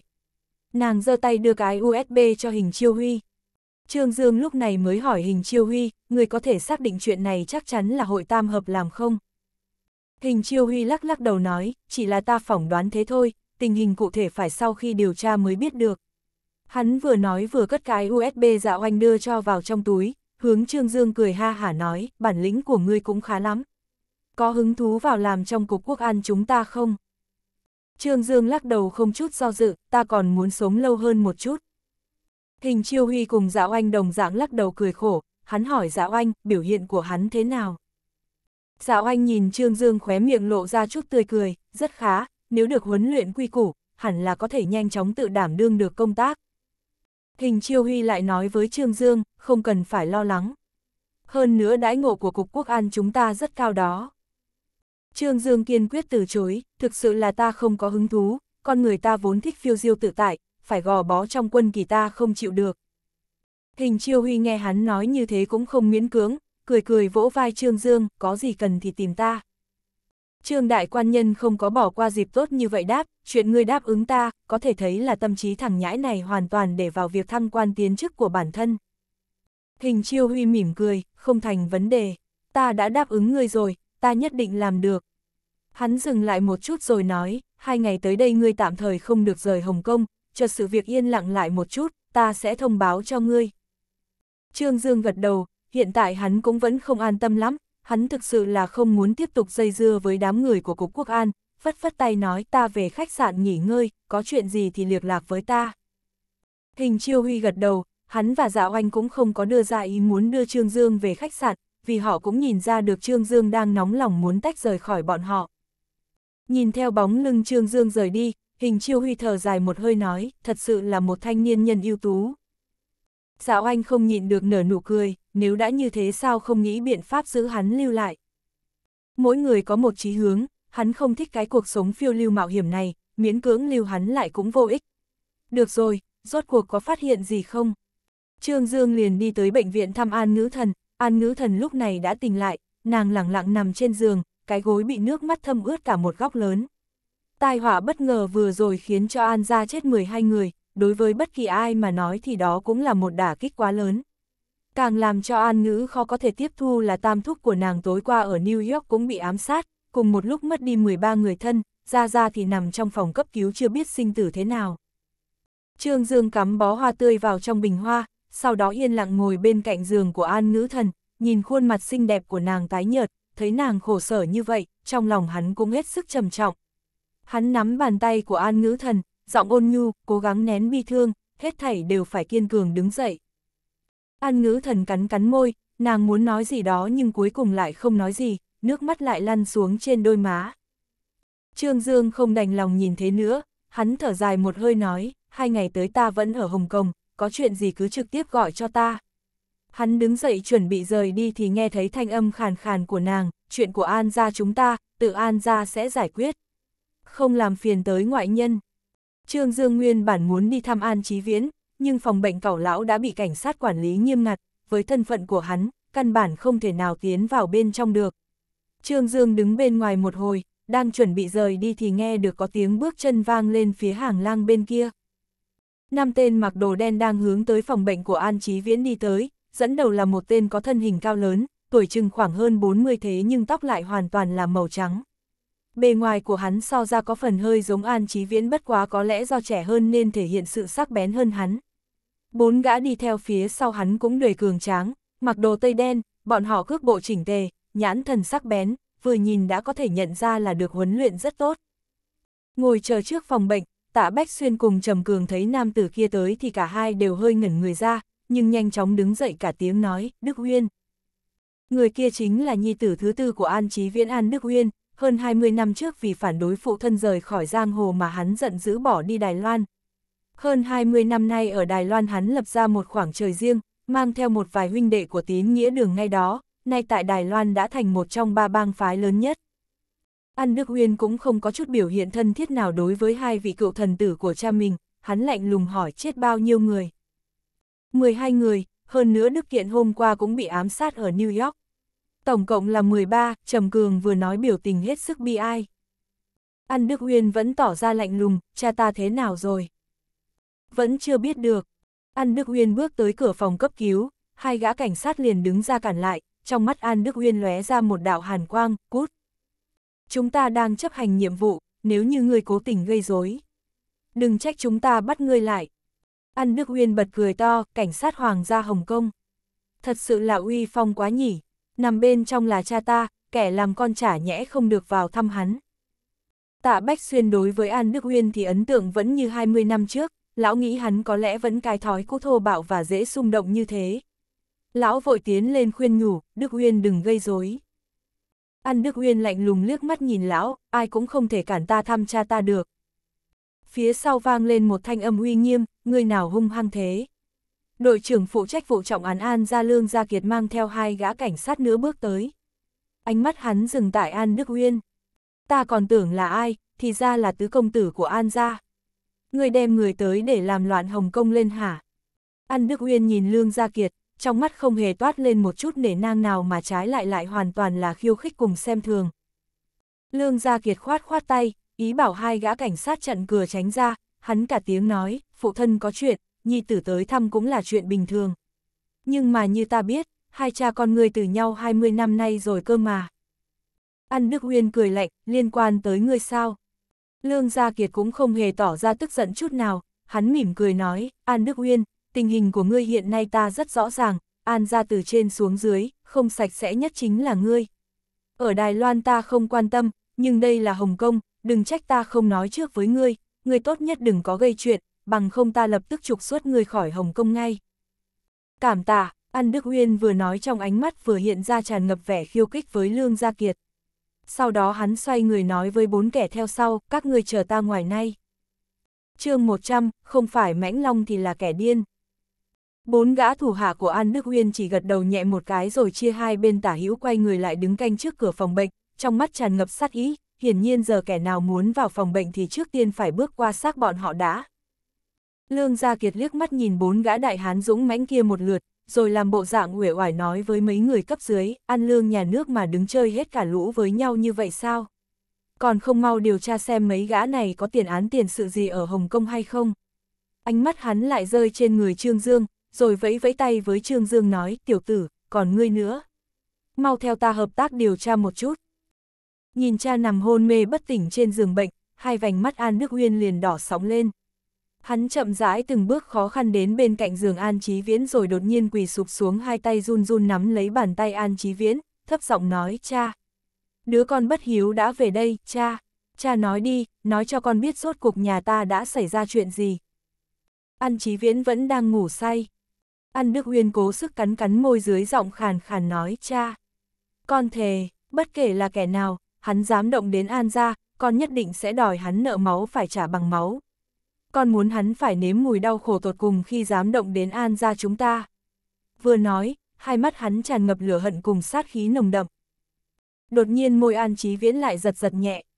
An Đức Uyên vẫn chăm chú nhìn cha từ đầu tới cuối, thấy cha biến hóa như vậy liền vui mừng gọi lớn, cha. Cha. An Chí Viễn là muốn nói gì đó, An Đức Uyên liền vội vàng ghé sát tai hơn chăm chú lắng nghe, lúc sau hắn mới nghe được hai từ cực kỳ yếu ớt, đi mau.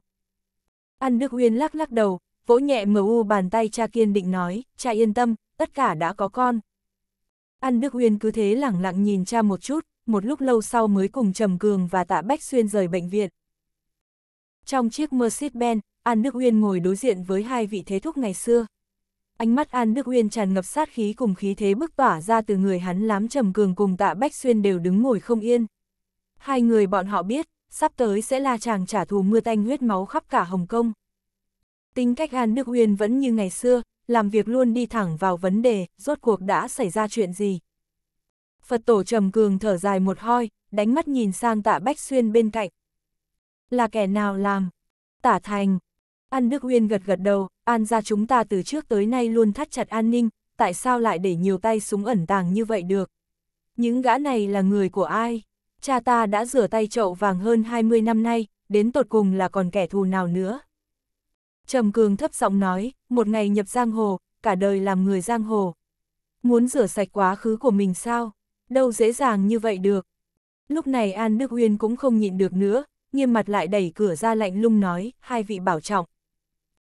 Lại nói về tả thành, trước khi hành động, hắn đã chuẩn bị sẵn đường lui cho mình, lúc hắn nghe tin An ra gặp biến cố lớn thì cũng là lúc hắn đang làm nốt những công đoạn cuối cùng rồi lập tức rời Hồng Kông.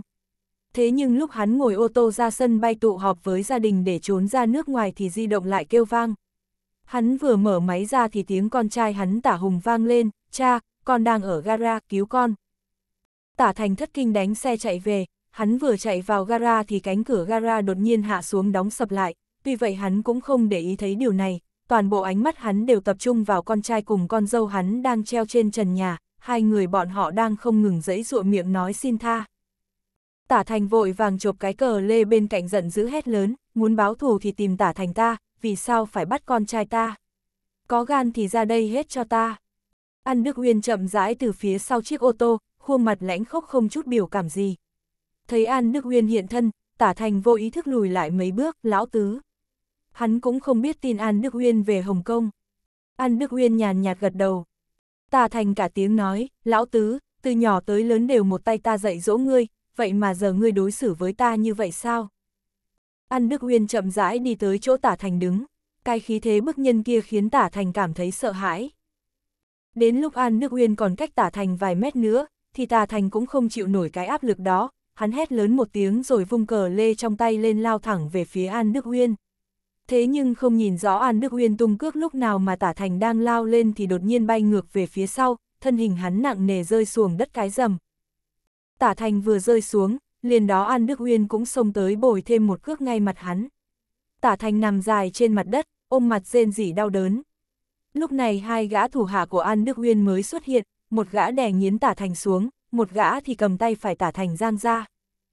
An Đức Uyên nhặt cái cờ lê rơi trên mặt đất lên, thấp giọng nói, ta vẫn còn nhớ rõ, người đã từng dạy ta rằng, đối với địch nhân thì phải ngoan độc. Vừa dứt lời, hắn liền vung cờ lê lên, hung hăng nện vào cánh tay phải của tả thành. Tả thành đau đớn rú lên một tiếng, hiển nhiên sau đòn vừa rồi, xương cánh tay hắn đã bị gãy nát. Thân thể hắn run lên bần bật, hắn nghiến răng cắn chặt môi đến chảy cả máu, cố gắng nhịn đau, trong mắt hắn vằn đầy tơ máu gào lớn, người điên rồi. An Đức Uyên vẫn thản nhiên bật lửa châm điếu thuốc, lúc ta 6 tuổi đã bị cừu nhân bắt cóc, cũng thúc thúc ngươi đơn thương độc mã cứu ta trở về từ tay tử thần. Cũng vì ta mà ngươi phải lãnh 17 nhát đao, phải nói rằng là ta nợ ngươi một mạng. Tả thành hư lạnh không nói gì. An Đức Uyên cười lạnh một tiếng lại nói tiếp, bởi vậy ta mới tha vợ ngươi, còn cả cháu trai lẫn cháu gái ngươi bên Canada, coi như hai chúng ta ân đoạn nghĩa tuyệt. Nói xong hắn móc khẩu súng bên sườn ra chĩa về phía con dâu tả thành đang treo trên cao, tại sao ngươi lại hãm hại gia đình chúng ta? Là vì giúp con trai ngươi cho vay nặng lãi sao? Tả thành thở hốn hển nói, lão tứ, xin ngươi. Tha cho hau đứa nó. Là ta, tất cả là do ta, ta sẽ một mình gánh chịu. Là ta hãm hại đạt minh, khiến nó mang tội danh tàng chữ ma túy. Thế nhưng chuyên tối qua ta không hề hay biết, cho dù ta không màng tính mạng người nhà ta đi chăng nữa, ta tuyệt đối sẽ không hại đại ca. An Đức Uyên gật gật đầu, nhếch mép cười nhạt, hắn không cần quay đầu nhìn lại, tay bóp cò súng, viên đạn ghim thẳng vào trán con dâu của tả thành. Tả Hùng treo ngay cạnh thấy vợ mình chết thảm, hoảng sợ kêu ầm lên. Xúc sinh, tả thành niên cuồng gào ầm lên, biểu tình An Đức Uyên vẫn lạnh lùng như trước, hắn chậm rãi chuyển họng súng ngay chán tả thành giận dữ quát lớn, 13 mạng người An ra chúng ta, người có hiểu không?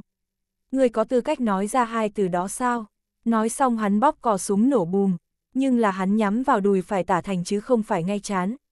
Tả thành rên rỉ đau đớn, đùi phải hắn xuất hiện một lỗ to đùng, máu từ đó ồ ồ chảy ra lênh láng trả nền nhà.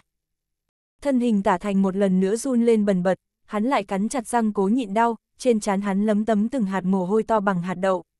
Cuối cùng ánh mắt hắn chuyển từ phẫn nộ sang bi ai cầu xin thương xót. Giang hồ là vậy, lạnh lùng, tàn khốc, máu lạnh vô tình. Tả thành khổ sở van xin nói, xin ngươi, cầu xin ngươi bỏ qua cho tiểu hùng. Nói, tả thành run run nói, là Vương Triền, người của hội tam hợp. Hắn nói muốn giúp ta giải quyết vấn đề nợ nần của con trai ta, giúp ta vượt qua khó khăn tài chính, đổi lại, hắn bắt ta phải chuyển nhượng công ty cho hắn, hắn lại bắt ta vụ oan giá họa cho Đạt Minh, nhưng cuối cùng ta không đồng ý. Tuy vậy con trai ta lại lén lút làm những việc này sau lưng ta.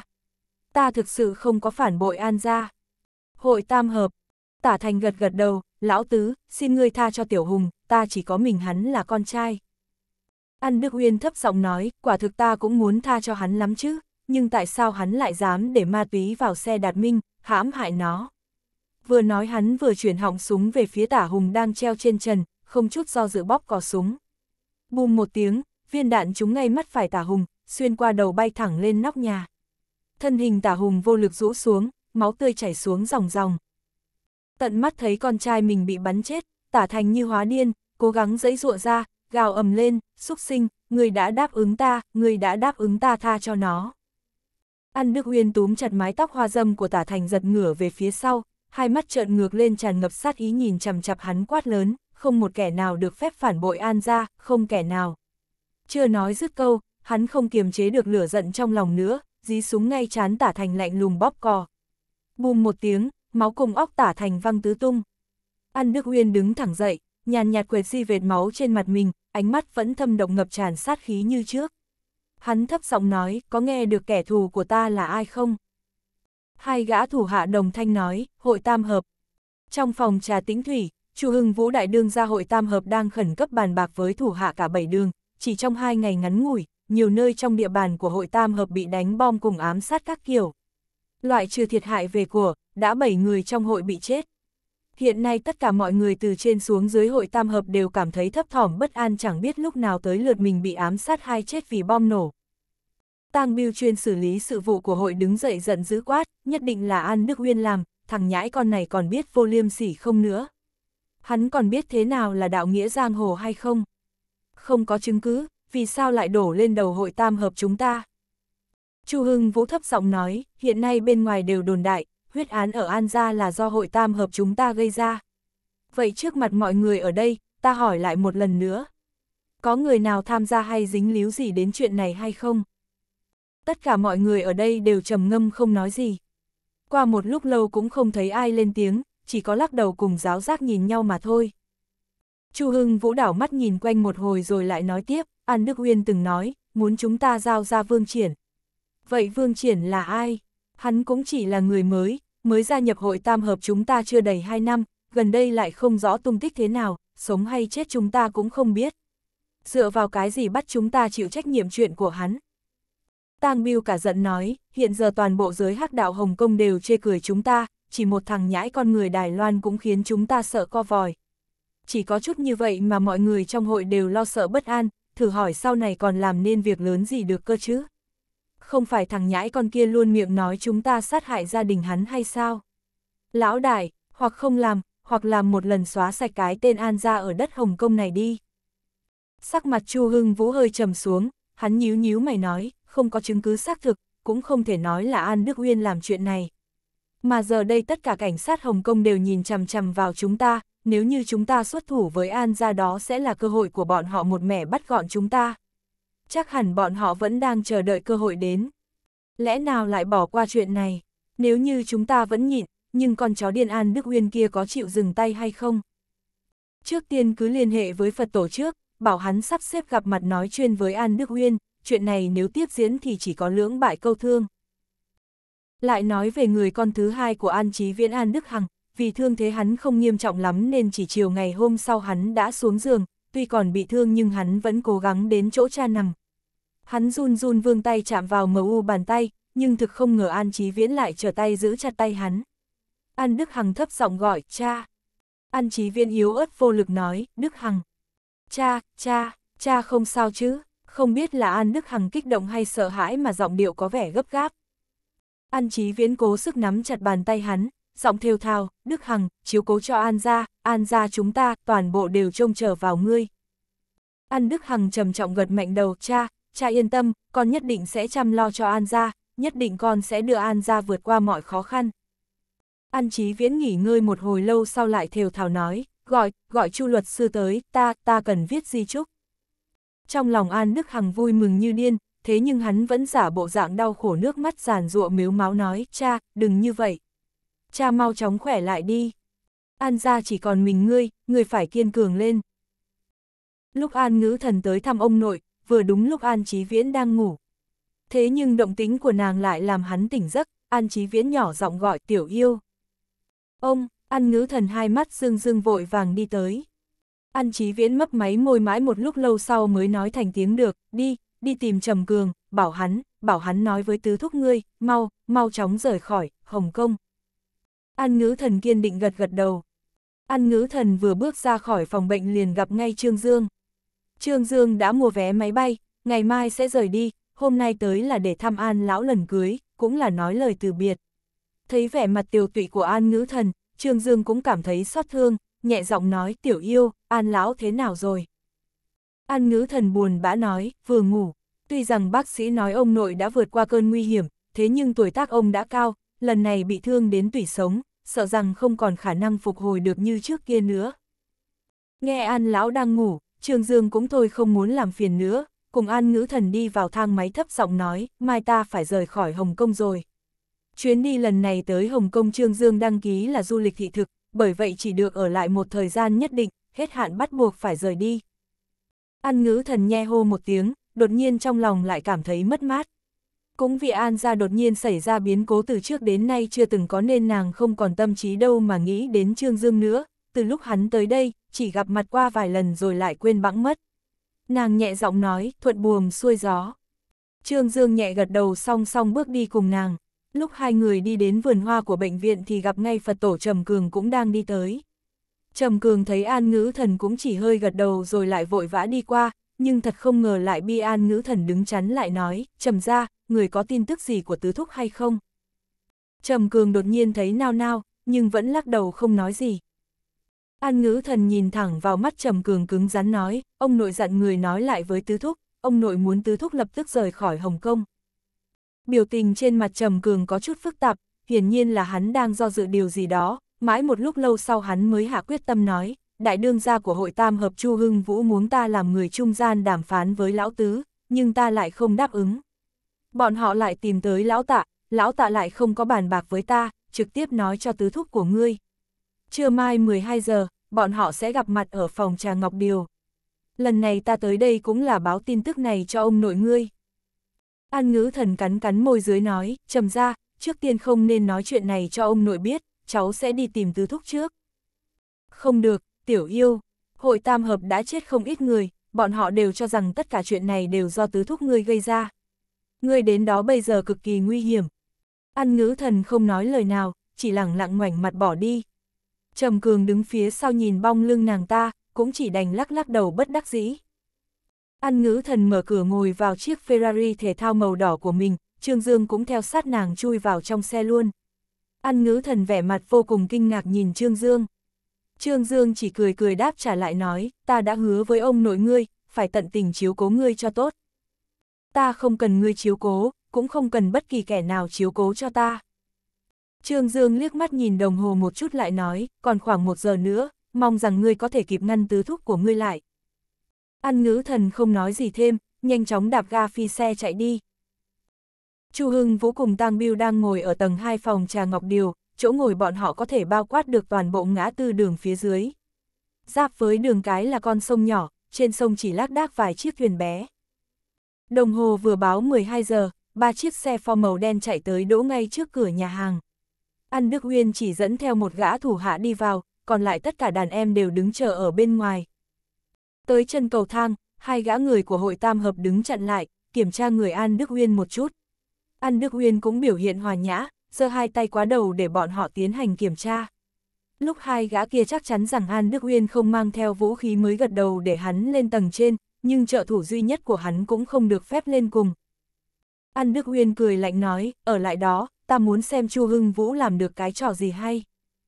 An Đức Uyên vừa bước lên lầu 2 liền đảo mắt nhìn quanh, không ngờ phòng trà lớn như vậy mà chỉ có độc mỗi chiếc bàn Chu Hưng Vũ đang ngồi. Tang Biêu thì đứng lên, còn Chu Hưng Vũ vẫn ngồi im, hắn chỉ lạnh lùng liếc nhìn An Đức Uyên một chút. Bất kể thù hận thế nào, hắn cũng phải có chỗ dựa nhất định, hoặc nếu không phải mãnh long thì là kẻ điên. Tang Biêu đứng chặn đường An Đức Uyên, bộ dạng hung thần ác sát chừng mắt nói, hai đàn em của ta là do ngươi giết. Khóe môi An Đức Uyên lộ ra một tia tiếu ý nhàn nhạt, rồi tay phải hắn xuất nhanh như thiểm điện túm ngay tóc Tang Biêu, giật mạnh một cái dập mặt hắn thẳng vào cột trụ bằng gỗ gần đó. Bị một đòn đau lại quá bất ngờ, Tang Biêu chỉ cảm thấy trời đất quay cuồng rồi ngã lăn ra sàn, chán rách một mảng da lớn, máu me be bét. An Đức Uyên vẫn chưa chịu dừng tay, tặng ngay một cước vào mặt hắn cười nhạt nói, không biết lớn nhỏ. Chu Hưng Vũ lẳng lặng nhìn An Đức Uyên, hắn vẫn như cũ, không có bất kỳ phản ứng gì, tựa như hắn đang nhìn An Đức Uyên đánh một người xa lạ chứ không phải đàn em của hắn vậy. An Đức Uyên chỉnh quần áo lại một chút, đi tới trước mặt Chu Hưng Vũ ngồi xuống, vươn tay với bình trà tự rót đầy cho mình một chén. Lúc này Chu Hưng Vũ mới chịu mở miệng nói, lá gan ngươi cũng khá lớn đó, dám một mình tới chỗ này.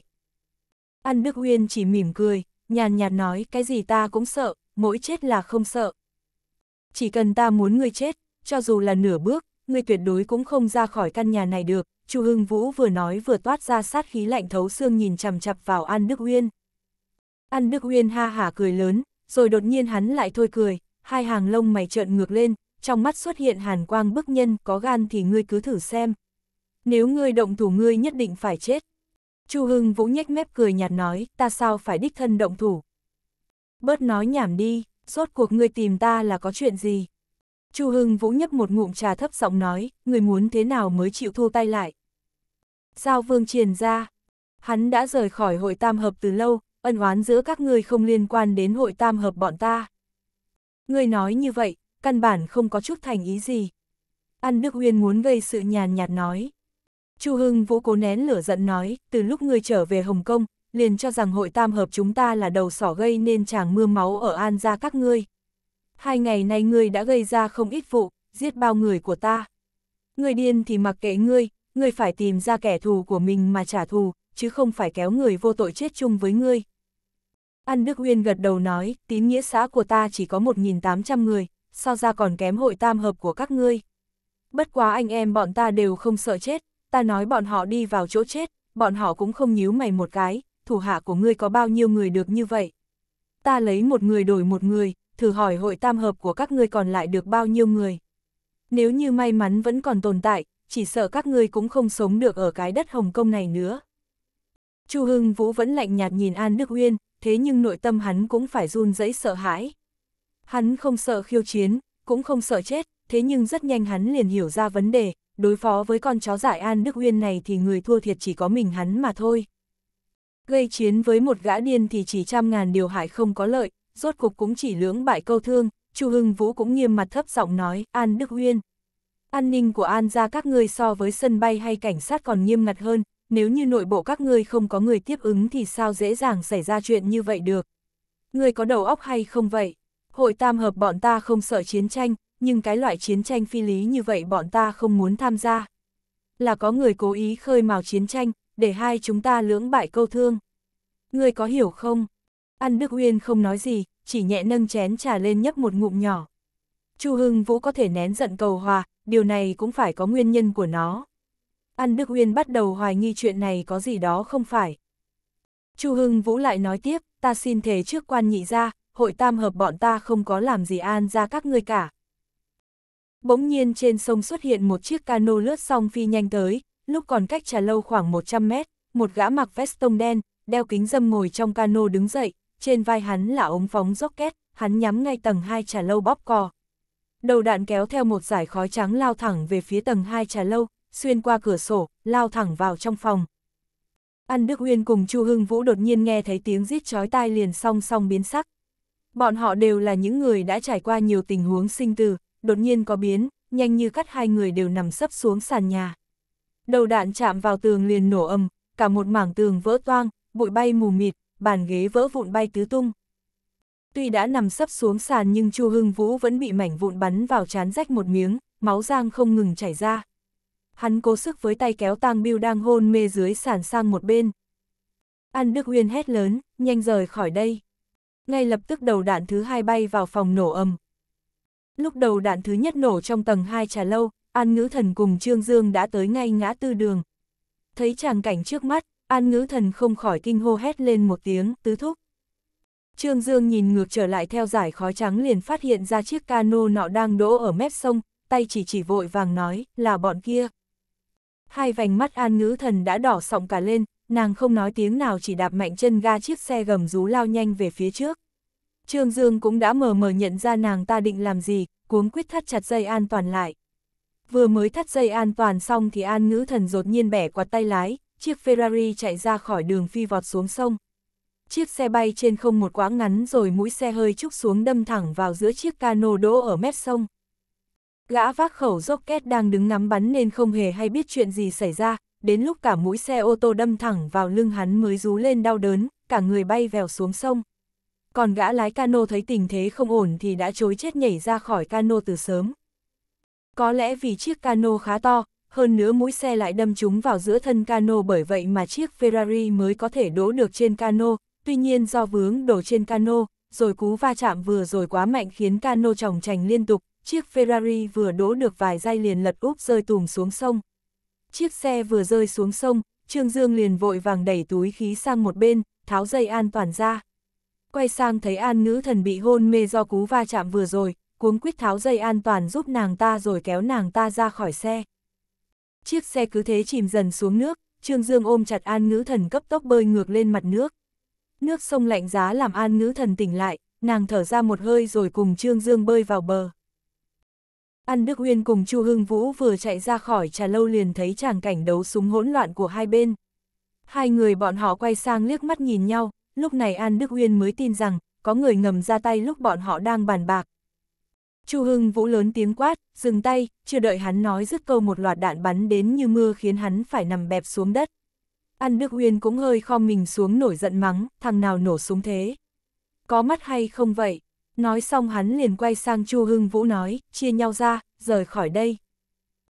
Trương Dương leo lên bờ trước rồi với tay kéo An Ngữ Thần lên, chỗ trà lâu không ngừng truyền tới tiếng súng nổ, tiếng la hét in ỏi, xa xa lại có tiếng xe cảnh sát chạy tới đây. An Ngữ Thần lo lắng muốn chạy tới hiện trường, Trương Dương vội kéo tay nàng ta lại nhíu mày nói, không qua đó được, nguy hiểm lắm. Tứ thúc của ta đang ở trong đó. An Ngữ Thần gấp đến độ hai mắt đã rưng rưng nước mắt đột nhiên có người ở đằng xa đang chạy đến chỗ hai người bọn họ. Dẫn đầu chính là An Đức Uyên, được một gã thủ hạ yểm trợ giang chạy dọc bờ sông. Hiện trường giờ chỉ còn một mảng hỗn loạn, đám người hội tam hợp đang không ngừng bắn giết thủ hạ của hắn. Hắn cũng vì đạn lạc mà chân trái bị thương, giờ bước đi khập khiếng trông thập phần gian nan. An ngữ thần kích động nói, tứ thúc. An Đức Uyên cũng không ngờ ngữ thần lại ở đây, hắn trần chờ một chút rồi cũng chạy đến chỗ hai người an ngữ thần. Đúng lúc này thì tên thủ hạ yểm trợ phía sau cũng trúng đạn nằm xuống, An Đức Uyên nhặt khẩu súng lên bắn trả lại vài phát rồi hét lớn, nhanh rời khỏi đây. Phía sau hắn đạn vẫn bắn đuổi hắn như mua. Rốt cục An Đức Uyên cũng bị trúng đạn, hắn lảo đảo một chút rồi ngã sắp xuống đất. Trương Dương từ chỗ ẩn nấp vọt nhanh ra ngoài, chạy tới chỗ An Đức Uyên ngã kéo hắn vào chỗ ẩn nấp. Chân người An Đức Uyên dính khá nhiều vết đạn, nhưng may thay hắn có mặc áo chống đạn nên chắc không nguy hiểm đến tính mạng. Hắn cắn chặt răng nhịn đau thay băng đạn mới rồi giơ súng bắn chết một gã địch nhân đang đuổi theo phía sau. Hắn rời Hồng Kông từ 20 năm trước, mà anh trai hắn mới chỉ cho An Ngữ Thần tới Đài Loan chơi lúc còn khá nhỏ, mặc dù An Ngữ Thần lớn lên thay đổi cây ết một nhiều, thế nhưng hắn vẫn nhận ra ngay được cháu gái mình. Tuy bên ngoài mưa bom bão đạn nhưng hắn vẫn nở nụ cười nói tiểu yêu. Con gái không nên tới mấy chỗ này. Trương Dương xen ngang, bọn họ là ai? An Đức Uyên thò tay ra bắn trả lại đám người phía sau, thế nhưng không may tay lại bị trúng đạn, khẩu súng rơi trên mặt đất. Hắn vội vàng thu tay lại hít một ngụm lãnh khí, hội tam hợp. Ta bị người ta lừa. Trương Dương thò tay nhặt khẩu súng dưới đất lên, đợi đến khi hỏa lực đối phương dịu lại mới lắc mình ra bóp cỏ bắn liên tục. Không cần nhắm nhiều Trương Dương cũng có thể bắn chúng ba gã đang đuổi theo phía sau. An Đức Uyên cũng thấy giật mình nhìn Lai Trương Dương nói, bắn giỏi lắm. Tiếng còi xe cảnh sát càng lúc càng gần, Trương Dương cùng An Ngữ Thần cũng thấy sợ hãi, nếu như An Đức Uyên vẫn còn ở đây, chắc chắn sẽ bị cảnh sát bắt giữ. An Ngữ Thần quyết đoán nói, lên thuyền, nói xong nàng ta liền chạy ngay ra bờ sông, Trương Dương dìu An Đức Uyên đi ngay theo sau. An Ngữ Thần khởi động máy cano rồi cho xe chạy vọt đi. Tới lúc xe cảnh sát chạy tới nơi thì cano đã chạy được một quãng xa. Tuy An Đức Uyên đã mặc áo chống đạn, nhưng trên người hắn lại chi chít vết thương, máu đang không ngừng chảy ra, nếu không nhanh chóng sơ cứu sợ rằng khó giữ được tính mạng. An ngữ thần dương dương nước mắt nói, tứ thúc, cố gắng chịu đựng, sắp tới bệnh viện rồi. Trương Dương thì bình tĩnh hơn An ngữ thần liền nhận ra vấn đề, nếu như đưa An Đức Uyên tới bệnh viện thì chẳng khác nào giao hắn cho cảnh sát cả. Tuy không thân quen với hắn lắm nhưng dù sao hắn cũng là người của An gia, Trương Dương không thể thấy chết không cứu được. Trương Dương điểm vài huyện đạo cầm máu cho An Đức Uyên, sau đó liền nghĩ đến hình Triệu Huy, hiện giờ thì chỉ có Cục Công an Quốc gia mới giúp đỡ được hắn, Trương Dương nhanh chóng móc di động ra bấm số gọi cho hình Triệu Huy. Hình Triệu Huy vừa nghe xong không chút do dự nào liền bảo Trương Dương tới thẳng bãi phế thải dân hằng, hắn sẽ phái người tới đó hỗ trợ. Bãi phế thải dân hằng nằm ngay sát bờ sông, cách chỗ Trương Dương khoảng 3 cây số. Chỉ vài phút sau bọn họ đã tới cầu tàu nhỏ của bãi phế thải dân hằng, An ngữ thần thì neo thuyền lại còn Trương Dương thì cõng An Đức Uyên máu chảy đầm đìa lên bờ. Trương Dương đang định gọi điện thoại dục hình Triệu Huy nhanh nhanh lên thì một chiếc xe buýt loại nhỏ chạy tới, cửa xe vừa kéo ra dạo oanh mặc một bộ màu đen, đeo kính đen nhảy xuống vội vàng nói, nhanh, nhanh lên xe, để chậm sợ không kịp. Tuy rằng dạo oanh ăn mặc khá kín đáo, nhưng An ngữ thần liếc mắt cũng nhận ra nàng ta. Cũng tại tình thế cấp bách nên dù hơi ngạc nhiên nhưng nàng cũng không suy nghĩ nhiều nữa, vội vàng giúp Trương Dương đưa tứ thúc vào trong xe. Hai phút sau, chiếc buýt lại từ trong bãi phế thải vọt ra. Những phòng khám tư ở cửu thành thành Hồng Kông thì nhiều vô số, một phòng khám tư như bao phòng khám tư khác ba ngày hôm nay đều đóng chặt cửa không tiếp bệnh nhân, bên trong đang tiến hành ca phẫu thuật khá dài. Lần này hình triệu huy phải trực tiếp đứng mổ, máu dự trữ đã dùng đến 2.000cm khối. Tuy rằng trương đại quan nhân y thuật chắc tuyệt, nhưng đối với vết thương do đạn gây ra thì không có kinh nghiệm, việc mổ xẻ lấy đầu đạn ra thì chắc Tây y tiên tiến hơn Đông y nhiều. Vì vậy Trương Dương chỉ còn cách đứng phụ mổ bên cạnh hình Triệu Huy. Đến giờ Trương Dương mới nhận ra, hình Triệu Huy không chỉ là cán bộ cao cấp trong bộ mật vụ, mà kỹ năng giải phẫu của hắn cũng không thua kém gì bác sĩ chuyên khoa. Ca mổ kéo dài gần 2 giờ đồng hồ thập tử nhất sinh, cuối cùng ca mổ cũng thành côn. Hình Triệu Huy thở phào nhẹ nhõm một hơi, đi sang một bên cởi bao tay đầy máu của mình ra, hò tay móc bao thuốc rút ra một điếu đưa lên miệng. Hiệu quả của thuốc mê vẫn còn, nhưng An Đức Uyên cũng tỉnh táo lại đôi chút, thấy hình Triệu Huy hút thuốc, nhịn không được nhỏ giọng nói, cho ta một điếu. Hình Triệu Huy nở nụ cười, rút một điếu nữa trong bao ra đặt vào miệng An Đức Uyên, sau đó giúp hắn châm lửa. Hình Triệu Huy rít thêm mấy hơi nữa rồi đánh mắt ra hiệu với Dạ Oanh cùng Trương Dương, cùng nhau tới phòng bên cạnh. Dạ Oanh đóng cửa phòng lại, Hình Triệu Huy thu lại bộ dáng tươi cười lại nghiêm mặt nhíu mày nói, xã hội đen tranh chấp với nhau, người tham gia vào, nếu như bị người khác phát hiện, dù có nhảy xuống sông Hoàng Hà cũng không minh oan được đâu. Trương Dương thấp giọng nói, ta không thể ngồi nhìn An ra bị người ta hãm hại như vậy được. Hình Triệu Huy lạnh lùng nói, ngươi quên mất mình là ai rồi sao? Ngươi là cán bộ nhà nước, nơi này là Hồng Kông, ngươi không thể làm việc theo cảm tính như vậy. Nghe An Đức Uyên nói, hôm nay hắn đi đàm phán với người hội tam hợp, xảy ra xung đột là do có người ngầm phá hoại, muốn để bọn họ hai bên lưỡng bại câu thương. Hình Triệu Huy tức giận chừng mắt nhìn Trương Dương, có liên quan gì tới ngươi sao? Ban đầu ngươi tới Hồng Kông là vì chuyện gì? Ngươi là muốn tìm rõ vốn đầu tư của An Chí Viễn có phải là tiền bẩn hay không? Ngươi là muốn chứng minh sự trong sạch của mình nên mới tới, thế nhưng bây giờ thì sao? Ngươi tham gia vào mấy vụ này, có phải là muốn thành xã hội đen luôn không? Giọng điệu của hình triệu huy hơi nghiêm khắc nhưng Trương Dương cũng không vì thế mà nổi giận, Trương Dương cũng biết, hắn vì nghĩ tốt cho mình nên mới nổi nóng như vậy. Nếu như bị cuốn vào vòng xoáy này, hẳn mình khó lòng thoát ra được. Trương Dương trầm ngâm một chút rồi đột nhiên lại mở miệng hỏi, nếu như ngươi ghét xã hội đen như vậy, thế sao lại còn cứu hắn? Hình Triệu Huy thở dài nói, Trương Dương à, người căn bản không biết địa vị của An Đức Huyên tại hắc đạo Đài Loan, giả như hắn chết ở Hồng Kông, thì sợ rằng hơn một nghìn người của tín nghĩa xã đều đến Hồng Kông gây loạn mất, đến lúc đó ngươi có tưởng tượng ra sự việc sẽ tiến triển đến bực nào không? Ta cứu hắn là vì muốn hắn sống sót mà rời khỏi Hồng Kông, cũng là cứu sống biết bao mạng người nữa đó. Nếu như xảy ra một tràng huyết chiến mưa máu thì sợ rằng, ai? Đây là Hồng Kông có nhiều điểm người nội địa các ngươi không hiểu được đâu. Hắn vỗ vỗ vai Trương Dương rồi lại nói tiếp, ta vừa nhận được tin tức, Chu Hưng Vũ bị cảnh sát bắt, nhưng cho dù vậy, chắc hắn cũng không việc gì đâu. Loại người như hắn, cảnh sát rất khó tìm ra chứng cứ xác thực, mà có tìm ra cũng khó lòng giam giữ hắn lắm. Vậy ta phải làm gì? Hình Triệu Huy nhìn thẳng mặt Trương Dương nói, khuyên hắn rời khỏi Hồng Kông, chỉ cần hắn chịu rời khỏi, ta sẽ sắp xếp để hắn tới Đài Loan an toàn.